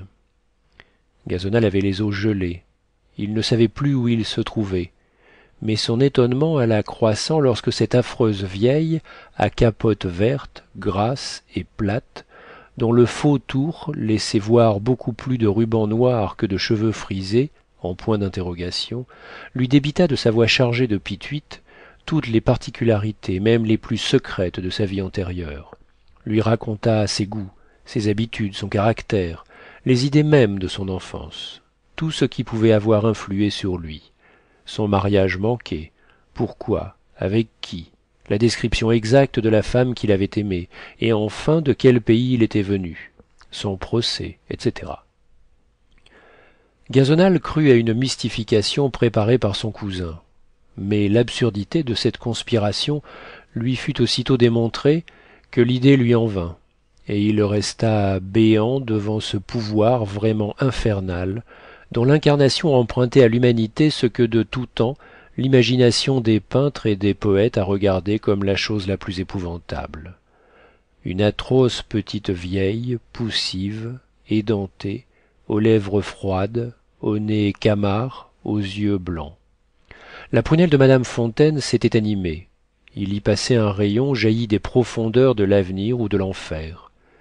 Gazonal demanda machinalement en interrompant la vieille à quoi lui servaient le crapaud et la poule a pouvoir prédire l'avenir le consultant jette lui-même des grains au hasard sur les cartes. Bilouche vient les begueter astaroth se traîne dessus pour aller chercher sa nourriture que le client lui tend et ces deux admirables intelligences ne se sont jamais trompées. Voulez-vous les voir à l'ouvrage? Vous saurez votre avenir. C'est cent francs.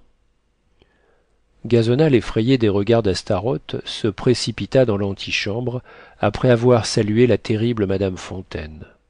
Il était en moiteur et comme sous l'incubation infernale du mauvais esprit allons-nous-en dit-il aux deux artistes avez-vous jamais consulté cette sorcière? Je ne fais rien d'important sans faire causer astaroth dit léon et je me suis toujours bien trouvé. J'attends la fortune honnête que bilouche m'a promise dit bixiou j'ai la fièvre s'écria le méridional. Si je croyais à ce que vous me dites je croirais donc à la sorcellerie à un pouvoir surnaturel. Ça peut n'être que naturel répliqua bixiou le tiers des lorettes le quart des hommes d'état la moitié des artistes consultent madame fontaine et l'on connaît un ministre à qui elle sert d'égérie t'a-t-elle dit l'avenir reprit léon non j'en ai eu assez de mon passé. Mais si elle peut à l'aide de ses affreux collaborateurs prédire l'avenir reprit gazonal saisi par une idée comment pouvait-elle perdre à la loterie? Ah tu mets le doigt sur l'un des plus grands mystères des sciences occultes répondit léon dès que cette espèce de glace intérieure où se reflète pour eux l'avenir ou le passé se trouble sous l'haleine d'un sentiment personnel d'une idée quelconque étrangère à l'acte du pouvoir qu'ils exercent sorcier ou sorcière n'y voit plus rien. De même que l'artiste qui souille l'art par une combinaison politique ou systématique perd son talent. Il y a quelque temps un homme doué du don de divination par les cartes le rival de madame fontaine et qui s'adonnait à des pratiques criminelles n'a pas su se tirer les cartes à lui-même et voir qu'il serait arrêté jugé condamné en cour d'assises. Madame fontaine qui prédit l'avenir huit fois sur dix n'a jamais su qu'elle perdrait sa mise à la loterie. Il en est ainsi en magnétisme fit observer bixiou. L'on ne se magnétise pas soi-même. Bon voilà le magnétisme s'écria gazonal. Ah ça vous connaissez donc tout. Ami gazonal répliqua gravement pour pouvoir rire de tout il faut tout connaître. Quant à moi je suis à paris depuis mon enfance et mon crayon m'y fait vivre des ridicules à cinq caricatures par mois. Je me moque ainsi très souvent d'une idée à laquelle j'ai foi. Passons à d'autres exercices dit léon. Allons à la chambre où nous arrangerons l'affaire du cousin. Ceci dit bixiou en imitant haudry et gaillard est de la haute comédie car nous ferons poser le premier orateur que nous rencontrerons dans la salle des pas perdus et vous reconnaîtrez là comme ailleurs le langage parisien qui n'a jamais que deux rythmes l'intérêt ou la vanité. En remontant en voiture léon aperçut dans un cabriolet qui passait rapidement un homme à qui d'un signe de main il fit comprendre qu'il voulait lui dire un mot c'est publicola masson dit léon à bixiou je vais lui demander séance pour ce soir à cinq heures après la chambre. Le cousin aura le plus curieux de tous les originaux. Qui est-ce? demanda gazonal pendant que léon parlait à publicola masson. Un pédicure auteur d'un traité de corporistique qui vous fait vos corps par abonnement et qui si les républicains triomphent pendant six mois deviendra certainement immortel. En voiture s'écria gazonal. Mais ami gazonal il n'y a que les millionnaires qui ont assez de temps à eux pour aller à pied à paris. A la chambre cria léon au cocher. Laquelle monsieur? Des députés répondit léon après avoir échangé un sourire avec bixiou. Paris commence à me confondre dit gazonal. Pour vous en faire connaître l'immensité morale politique et littéraire nous agissons en ce moment comme le cicérone romain qui vous montre à saint-pierre le pouce de la statue que vous avez cru de grandeur naturelle. Vous le trouvez grand d'un pied vous n'avez pas encore mesuré l'un des orteils de paris et remarquez cousin gazonal que nous prenons ce qui se rencontre nous ne choisissons pas. Ce soir tu souperas comme on festinait chez balthazar et tu verras notre paris à nous jouant au lansquenet et hasardant cent mille francs d'un coup sans sourciller. Un quart d'heure après la citadine s'arrêtait au bas des degrés de la chambre des députés de ce côté du pont de la concorde qui mène à la discorde. Je croyais la chambre inabordable dit le méridional surpris de se trouver au milieu de la grande salle des pas perdus. C'est selon répondit bixiou matériellement parlant. Il en coûte trente sous de cabriolet. Politiquement on dépense quelque chose de plus. Les hirondelles ont pensé a dit un poète que l'on avait bâti l'arc de triomphe de l'étoile pour elles nous pensons nous autres artistes qu'on a bâti ce monument ci pour compenser les non valeurs du théâtre français et nous faire rire. Mais ces comédiens là coûtent beaucoup plus cher et ne nous en donnent pas tous les jours pour notre argent. Voilà donc la chambre répétait gazonal. Et il arpentait la salle où se trouvaient en ce moment une dizaine de personnes en y regardant tout d'un air que bixiou gravait dans sa mémoire pour en faire une de ces célèbres caricatures avec lesquelles il lutte contre gavarni léon alla parler à l'un des huissiers qui vont et viennent constamment de cette salle dans celle des séances à laquelle elle communique par le couloir où se tiennent les sténographes du moniteur et quelques personnes attachées à la chambre. Quant au ministre répondit l'huissier à léon au moment où gazonal se rapprocha d'eux il y est. Mais je ne sais pas si monsieur giraud s'y trouve encore je vais voir. Quand l'huissier ouvrit l'un des battants de la porte par laquelle il n'entre que des députés des ministres ou des commissaires du roi gazonal en vit sortir un homme qui lui parut jeune encore quoiqu'il eût quarante-huit ans et à qui l'huissier indiqua léon de lora ah vous voilà! dit-il en allant donner une poignée de main à léon et à bixiou drôle! Que venez-vous faire dans le sanctuaire des lois parbleu nous venons apprendre à blaguer dit bixiou l'on se rouillerait sans cela. Passons alors dans le jardin répliqua le jeune homme sans croire que le méridional fût de la compagnie. En voyant cet inconnu bien vêtu tout en noir et sans aucune décoration gazonal ne savait dans quelle catégorie politique le classer. Mais il le suivit dans le jardin contigu à la salle et qui longe le quai jadis appelé quai napoléon. Une fois dans le jardin le ci-devant jeune homme donna carrière à un rire qu'il comprimait depuis son entrée dans la salle des pas perdus. Qu'as-tu donc? lui dit léon de lora. Mon cher ami pour pouvoir établir la sincérité du gouvernement constitutionnel nous sommes forcés à commettre d'effroyables mensonges avec un aplomb incroyable. Mais moi je suis journalier. S'il y a des jours où je mens comme un programme il y en a d'autres où je ne peux pas être sérieux. Je suis dans mon jour d'hilarité. Or en ce moment le chef du cabinet sommé par l'opposition de livrer les secrets de la diplomatie est en train de faire ses exercices à la tribune et comme il est honnête homme qu'il ne ment pas pour son compte il m'a dit à l'oreille avant de monter à l'assaut je ne sais quoi leur débiter en le voyant là le fou rire m'a pris et je suis sorti car on ne peut pas rire au banc des ministres où ma jeunesse me revient parfois intempestivement. Enfin s'écria gazonal je trouve un honnête homme dans paris. Vous devez être un homme bien supérieur dit-il en regardant l'inconnu. Ah çà qui est monsieur? dit le ci-devant jeune homme en examinant gazonal. Mon cousin répliqua vivement léon. Je réponds de son silence et de sa probité comme de moi-même. C'est lui qui nous amène ici car il a un procès administratif qui dépend de ton ministère son préfet veut tout bonnement le ruiner et nous sommes venus te voir pour empêcher le conseil d'état de consommer une injustice. Quel est le rapporteur? Massol.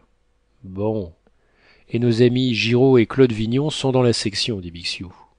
Dis-leur un mot et qu'ils viennent ce soir chez carabine où du tillet donne une fête à propos de railways car on détrousse maintenant plus que jamais sur les chemins ajouta léon. Ah çà mais c'est dans les pyrénées? demanda le jeune homme devenu sérieux oui dit gazonal. Et vous ne votez pas pour nous dans les élections? dit l'homme d'étain en regardant gazonal. Non mais après ce que vous venez de dire devant moi vous m'avez corrompu. Foi de commandant de la garde nationale je vous fais nommer votre candidat. Eh bien peux-tu garantir encore ton cousin? demanda le jeune homme à léon. Nous le formons dit bixiou d'un ton profondément comique. Eh bien je verrai dit ce personnage en quittant ses amis et retournant avec précipitation à la salle des séances. Ah çà qui est-ce? demanda gazonal. Eh bien le comte de rastignac le ministre dans le département de qui se trouve ton affaire. Un ministre? C'est pas plus que cela? Mais c'est un vieil ami à nous. Il a trois cent mille livres de rente. Il est pair de france. Le roi l'a fait comte c'est le gendre de nucingen et c'est un des deux ou trois hommes d'état enfantés par la révolution de juillet. Mais le pouvoir l'ennuie quelquefois et il vient rire avec nous ah çà cousin tu ne nous avais pas dit que tu étais de l'opposition là-bas? demanda léon en prenant gazonal par le bras es-tu bête? Qu'il y ait un député de plus ou de moins à gauche ou à droite cela te met-il dans de meilleurs draps? Nous sommes pour les autres laissez-les dit bixiou tout aussi comiquement que l'eût dit monrose ils ont pour eux la providence. Elle les ramènera bien sans vous et malgré eux. Un fabricant doit être fataliste. Bon. Voilà maxime avec canalis et giraud s'écria léon. Venez ami gazonal. Les acteurs promis arrivent en scène lui dit bixiou. Et tous trois ils s'avancèrent vers les personnages indiqués qui paraissaient quasi désœuvrés. Vous a-t-on envoyé promener? Que vous allez comme ça dit bixiou à giraud. Non l'on vote au scrutin secret répondit giraud. Et comment le chef de cabinet s'en est-il tiré? Il a été magnifique dit canalis. Magnifique répéta giraud. Magnifique dit maxime.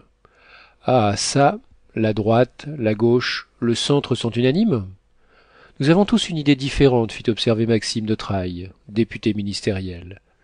Oui reprit canalis en riant le député qui siégeait vers la droite quoiqu'il eût été déjà ministre. Ah vous avez eu tout à l'heure un beau triomphe dit maxime à canalis car c'est vous qui avez forcé le ministre à monter à la tribune. Et à mentir comme un charlatan répliqua canalis. La belle victoire répondit l'honnête giraud. À sa place qu'auriez-vous fait? J'aurais menti. Ça ne s'appelle pas mentir dit maxime de trailles. Cela s'appelle couvrir la couronne. Et il emmena canalis à quelques pas de là c'est un bien grand orateur dit léon à giraud en lui montrant canalis. Oui et non répondit le conseiller d'état. Il est creux il est sonore c'est plutôt un artiste en paroles qu'un orateur. Enfin c'est un bel instrument mais ce n'est pas la musique. Aussi n'a-t-il pas et n'aura-t-il jamais l'oreille de la chambre. Il se croit nécessaire à la france mais dans aucun cas il ne peut être l'homme de la situation canalis et maxime étaient revenus vers le groupe au moment où giraud le député du centre gauche venait de prononcer cet arrêt. Maxime prit giraud par le bras et l'entraîna loin du groupe pour lui faire peut-être les mêmes confidences qu'à canalis quel honnête et digne garçon! dit léon en désignant giraud à canalis c'est de ces probités qui tuent les gouvernements répondit canalis a votre avis est-ce un bon orateur oui et non répondit canalis il est verbeux il est filandreux. C'est un ouvrier en raisonnement c'est un bon logicien mais il ne comprend pas la grande logique celle des événements et des affaires. Aussi n'a-t-il pas et n'aura-t-il jamais l'oreille de la chambre. Au moment où canalis portait cet arrêt sur giraud celui-ci revint avec maxime vers le groupe. Et oubliant qu'il se trouvait un étranger dont la discrétion ne leur était pas connue comme celle de léon et de bixiou il prit la main à canalis d'une façon significative eh bien lui dit-il je consens à ce que propose monsieur le comte de trailles. Je vous ferai l'interpellation nous aurons alors la chambre à nous dans cette question car un homme de votre portée et de votre éloquence a toujours l'oreille de la chambre répondit canalis. Je répondrai vous pourrez décider un changement de cabinet car vous ferez sur un semblable terrain tout ce que vous voudrez de la chambre et vous deviendrez l'homme de la situation. Maxime les a mis dedans tous les deux dit léon à son cousin. Ce gaillard-là se trouve dans les intrigues de la chambre comme un poisson dans l'eau. Qui est-ce? demanda gazonal. Un ex-coquin répondit bixiou. Giraud? cria léon au conseiller d'état. Ne vous en allez pas sans avoir demandé à rastignac ce qu'il m'a promis de vous dire relativement à un procès que vous jugez après-demain et qui regarde mon cousin. Et les trois amis suivirent les trois hommes politiques à distance en se dirigeant vers la salle des pas perdus. Tiens cousin regarde ces deux hommes dit léon à gazonal en lui montrant un ancien ministre fort célèbre et le chef du centre gauche. Voilà deux orateurs qui ont l'oreille de la chambre et qu'on a plaisamment surnommés des ministres au département de l'opposition. Ils ont si bien l'oreille de la chambre qu'ils la lui tirent fort souvent. Il est quatre heures. Revenons rue de berlin dit bixiou. Oui tu viens de voir le cœur du gouvernement. Il faut en montrer les helminthes les ascarides le ténia le républicain puisqu'il faut l'appeler par son nom dit léon à son cousin. Une fois les trois amis emballés dans leur fiacre gazonal regarda railleusement son cousin et bixiou comme un homme qui voulait lâcher un flot de bile oratoire et méridionale je me défiais bien de cette grande bagasse de ville mais depuis ce matin je la méprise. La pauvre province tant mesquine est une honnête fille mais paris c'est une prostituée avide menteuse comédienne et je suis bien content de n'y avoir rien laissé de ma peau. La journée n'est pas finie dit sentencieusement bixiou qui cligna de l'œil en regardant léon et pourquoi te plains tu bêtement dit léon d'une prétendue prostitution à laquelle tu vas devoir le gain de ton procès?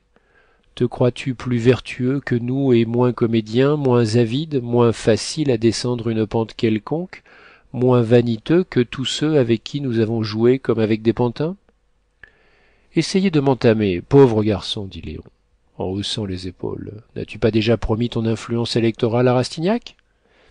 Oui parce qu'il est le seul qui se soit mis à rire de lui-même. Pauvre garçon répéta bixiou vous me défiez moi qui n'ai fait que rire? Vous ressemblez à un roquet impatientant un tigre? Ah si vous nous aviez vus nous moquant de quelqu'un savez-vous que nous pouvons rendre fou un homme sain d'esprit? Cette conversation mena gazonal jusque chez son cousin où la vue des richesses mobilières lui coupa la parole et mit fin à ce débat. Le méridional s'aperçut mais plus tard que bixiou l'avait déjà fait poser. A cinq heures et demie au moment où léon de lora faisait sa toilette pour le soir au grand ébahissement de gazonal qui nombrait les mille et une superfluités de son cousin et qui admirait le sérieux du valet de chambre en fonction on annonça le pédicure de monsieur. Publicola masson petit homme de cinquante ans dont la figure rappelle celle de marat fit son entrée en déposant une petite boîte d'instruments et en se mettant sur une petite chaise en face de léon après avoir salué gazonal et bixiou comment vont les affaires? lui demanda léon en lui livrant un de ses pieds déjà préalablement lavé par le valet de chambre mais je suis forcé d'avoir deux élèves deux jeunes gens qui désespérant de la fortune ont quitté la chirurgie pour la corporistique ils mourraient de faim et cependant ils ont du talent. Oh je ne vous parle pas des affaires pédestres je vous demande où vous en êtes de vos affaires politiques. Masson lança sur gazonal un regard plus éloquent que toute espèce d'interrogation. Oh parler c'est mon cousin et il est presque des vôtres. Il est légitimiste. Eh bien nous allons nous marchons. Dans cinq ans d'ici l'europe sera tout à nous la suisse et l'italie sont chaudement travaillées et vienne la circonstance. Nous sommes prêts. Ici nous avons cinquante mille hommes armés sans compter les deux cent mille citoyens qui sont sans le sou. Bah dit léon et les fortifications? Des croûtes de pâté qu'on avalera répondit masson. D'abord nous ne laisserons pas venir les canons et puis nous avons une petite machine plus puissante que tous les forts du monde une machine due aux médecins qui a guéri plus de monde que les médecins n'en tuaient dans le temps où elle fonctionnait comme vous y allez dit gazonal à qui l'air de publicola donnait la chair de poule. Ah il faut cela. Nous venons après robespierre et saint-just. C'est pour faire mieux. Ils ont été timides car vous voyez ce qui nous est arrivé. Un empereur la branche aînée et la branche cadette. Ils n'avaient pas assez émondé l'arbre social. Ah ça vous qui serez dit-on consul ou quelque chose comme tribun songez bien dit bixiou que je vous ai depuis douze ans demandé votre protection il ne vous arrivera rien car il nous faudra des loustiques et vous pourrez prendre l'emploi de barère répondit le pédicure. Et moi dit léon. Ah vous vous êtes mon client c'est ce qui vous sauvera car le génie est un odieux privilège à qui l'on accorde trop en france et nous serons forcés de démolir quelques-uns de nos grands hommes pour apprendre aux autres à savoir être simples citoyens. Le pédicure parlait d'un air moitié sérieux moitié badin qui faisait frissonner ainsi dit le méridional plus de religion. Plus de religion de l'état reprit le pédicure en soulignant les deux derniers mots. Chacun aura la sienne. C'est fort heureux qu'on protège en ce moment les couvents. Ça nous prépare les fonds de notre gouvernement. Tout conspire pour nous. Ainsi tous ceux qui plaignent les peuples qui braillent sur la question des prolétaires et des salaires qui font des ouvrages contre les jésuites qui s'occupent de l'amélioration de n'importe quoi les communistes les humanitaires vous comprenez? Tous ces gens-là sont notre avant-garde. Pendant que nous amasserons de la poudre ils tressent la mèche à laquelle l'étincelle d'une circonstance mettra le feu. Ah ça! Que voulez-vous donc pour le bonheur de la france? demanda gazonal. L'égalité pour les citoyens le bon marché de toutes les denrées. Nous voulons qu'il n'y ait plus de gens manquant de tout et des millionnaires des suceurs de sang et des victimes. C'est ça le maximum et le minimum dit gazonal. Vous avez dit la chose répliqua nettement le pédicure. Plus de fabricants? demanda gazonal. On fabriquera pour le compte de l'état. Nous serons tous usufruitiers de la france. On ira à sa ration comme sur un vaisseau et tout le monde y travaillera selon ses capacités. Bon dit gazonal et en attendant que vous puissiez couper la tête aux aristocrates je leur rogne les ongles dit le républicain radical qui serrait ses outils et qui finit la plaisanterie lui-même. Il salua très poliment et sortit. Est-ce possible en s'écria gazonal. Si nous en avions le temps nous te montrerions répondit le paysagiste tous les personnages de tu causerais avec eux. Tu viens de voir marat. Eh bien nous connaissons collot d'herbois robespierre chabot fouché barras et il y a même une madame roland. Allons. Dans cette représentation le tragique n'a pas manqué dit le méridional. Il est six heures. Avant que nous ne te menions voir les saltimbanques que joue audry ce soir dit léon à son cousin il est nécessaire d'aller faire une visite à madame cadine. Une actrice que cultive beaucoup ton rapporteur massol et à qui tu auras ce soir à faire une cour assidue. Comme il faut vous concilier cette puissance je vais vous donner quelques instructions reprit bixiou employez vous des ouvrières à votre fabrique? Certainement répondit gazonal. Voilà tout ce que je voulais savoir dit bixiou vous n'êtes pas marié vous êtes un gros oui s'écria gazonal.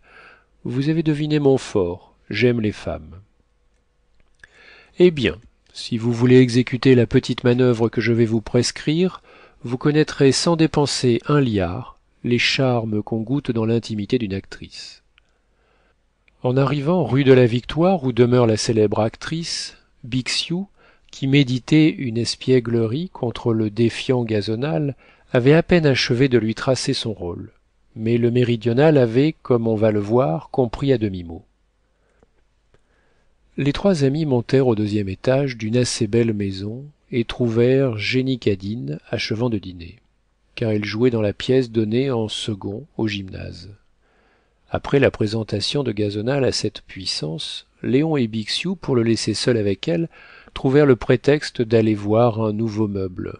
Mais avant de quitter l'actrice bixiou lui avait dit à l'oreille c'est le cousin de léon un fabricant riche à millions et qui pour gagner son procès au conseil d'état contre le préfet juge à propos de vous séduire. Tout paris connaît la beauté de cette jeune première. On comprendra donc la stupéfaction du méridional en la voyant. D'abord reçu presque froidement il devint l'objet des bonnes grâces de jenny cadine pendant les quelques minutes où ils restèrent seuls. Comment dit gazonal en regardant avec dédain le mobilier du salon par la porte que ses complices avaient laissée entr'ouverte et en supputant ce que valait celui de la salle à manger comment laisse-t-on une femme comme vous dans un pareil chenil ah voilà. Que voulez-vous? Massol n'est pas riche. J'attends qu'il devienne ministre quel homme heureux! s'écria gazonal en poussant un soupir d'homme de province bon! se dit en elle-même l'actrice mon mobilier sera renouvelé. Je pourrai donc lutter avec carabine. Eh bien dit léon en rentrant vous viendrez chez carabine ce soir. On y soupe on y lance quenette. Monsieur y sera-t-il? dit gracieusement et naïvement jenny cadine. Oui madame fit gazonal ébloui de ce rapide succès. Mais massol y vient repartit bixiou. Eh bien qu'est-ce que cela fait? répliqua jenny. Mais partons mes bijoux il faut que j'aille à mon théâtre. Gazonal donna la main à l'actrice jusqu'à la citadine qui l'attendait et il la lui pressait si tendrement que jenny cadine répondit en se secouant les doigts eh je n'en ai pas de rechange quand il fut dans la voiture gazonal essaya de serrer bixiou par la taille en s'écriant elle a mordu. Vous êtes un fier scélérat les femmes le disent répliqua bixiou a onze heures et demie après le spectacle une citadine emmena les trois amis chez mademoiselle séraphine sinet plus connue sous le nom de carabine un de ces noms de guerre que prennent les illustres laurettes ou qu'on leur donne et qui venait peut-être de ce qu'elle avait toujours tué son pigeon. Carabine devenue presque une nécessité pour le fameux banquier du tillet député du centre gauche habitait alors une charmante maison de la rue saint-georges il est dans paris des maisons dont les destinations ne varient pas et celle-ci avait déjà vu sept existences de courtisanes. Un agent de change y avait logé vers suzanne du val-noble devenue depuis madame gaillard. La fameuse esther y fit faire au baron de nucingen les seules folies qu'il ait faites. Florine puis celle qu'on nommait plaisamment feu madame schontz y avaient tour à tour brillé ennuyé de sa femme du tillet avait acquis cette petite maison moderne et y avait installé l'illustre carabine dont l'esprit vif les manières cavalières le brillant dévergondage formaient un contre-poids aux travaux de la vie domestique politique et financière. Que du tillet ou carabine fussent ou ne fussent pas au logis la table était servie et splendidement pour dix couverts tous les jours les artistes les gens de lettres les journalistes les habitués de la maison y mangeaient. On y jouait le soir. Plus d'un membre de l'une et l'autre chambre venait chercher là ce qui s'achète au poids de l'or à paris. Le plaisir. Les femmes excentriques ces météores du firmament parisien qui se classent si difficilement apportaient là les richesses de leur toilette on y était très spirituel car on y pouvait tout dire et on y disait tout carabine rivale de la non moins célèbre malaga s'était enfin portée héritière du salon de florine devenue madame nathan de celui de tullia devenue madame du bruel de celui de madame schontz devenue la femme d'un président en province. En y entrant gazonal ne dit qu'un seul mot mais il était à la fois légitime et légitimiste. C'est plus beau qu'aux tuileries le satin le velours les brocarts l'or les objets d'art qui foisonnaient occupèrent si bien les yeux du provincial qu'il n'aperçut pas jenny cadine dans une toilette à inspirer du respect et qui caché derrière carabine étudiait l'entrée du plaideur en causant avec elle ma chère enfant dit léon voilà mon cousin un fabricant qui m'est tombé des pyrénées ce matin. Il ne connaissait rien encore de paris.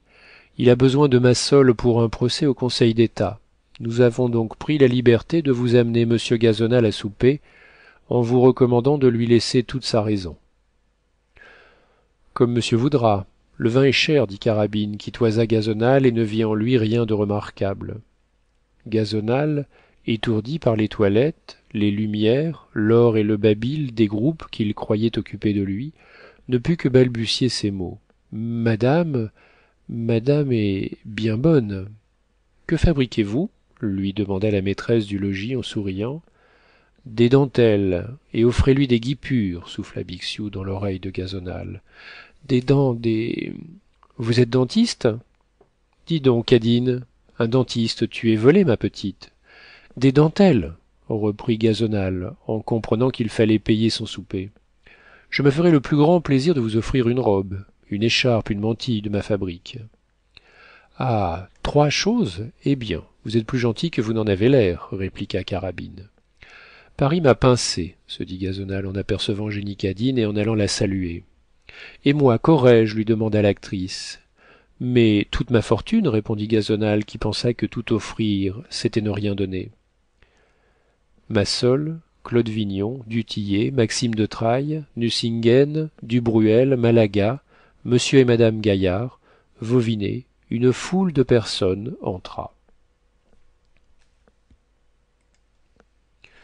après une conversation à fond avec le fabricant sur le procès massol sans rien promettre lui dit que le rapport était à faire et que les citoyens pouvaient se confier aux lumières et à l'indépendance du conseil d'état. Sur cette froide et digne réponse gazonal désespéré crut nécessaire de séduire la charmante jenny cadine de laquelle il était éperdument amoureux. Léon de lora bixiou laissèrent leur victime entre les mains de la plus espiègle des femmes de cette société bizarre car jenny cadine est la seule rivale de la fameuse déjazet a table où gazonal fut fasciné par une argenterie due au benvenuto cellini moderne à froment maurice et dont le contenu valait les intérêts du contenant les domestificateurs eurent soin de se placer loin de lui. Mais ils suivirent d'un œil sournois les progrès de la spirituelle actrice qui séduite par l'insidieuse promesse du renouvellement de son mobilier se donna pour thème d'emmener gazonal chez elle. Or jamais mouton de fête-dieu ne mit plus de complaisance à se laisser conduire par son saint jean baptiste que gazonal à obéir à cette sirène. Trois jours après léon et bixiou qui ne revoyaient plus gazonal le vinrent chercher à son hôtel vers deux heures après midi eh bien cousin un arrêté du conseil te donne gain de cause. Hélas c'est inutile cousin dit gazonal qui leva sur ses deux amis un oeil mélancolique. Je suis devenu républicain. Quesaco dit léon je n'ai plus rien pas même de quoi payer mon avocate répondit gazonal. Madame jenny cadine a de moi des lettres de change pour plus d'argent que je n'ai de biens le fait est que cadine est un peu cher mais oh j'en ai eu pour mon argent répliqua gazonal. Ah quelle femme. Allons la province ne peut pas lutter avec paris. Je me retire à la trappe. Bon dit bixiou vous voilà raisonnable. Tenez reconnaissez la majesté de la capitale. Et du capital s'écria léon en tendant à gazonal ses lettres de change. Gazonal regardait ces papiers d'un air hébété. Vous ne direz pas que nous n'entendons point l'hospitalité nous vous avons instruit régalé et amusé dit bixiou paris novembre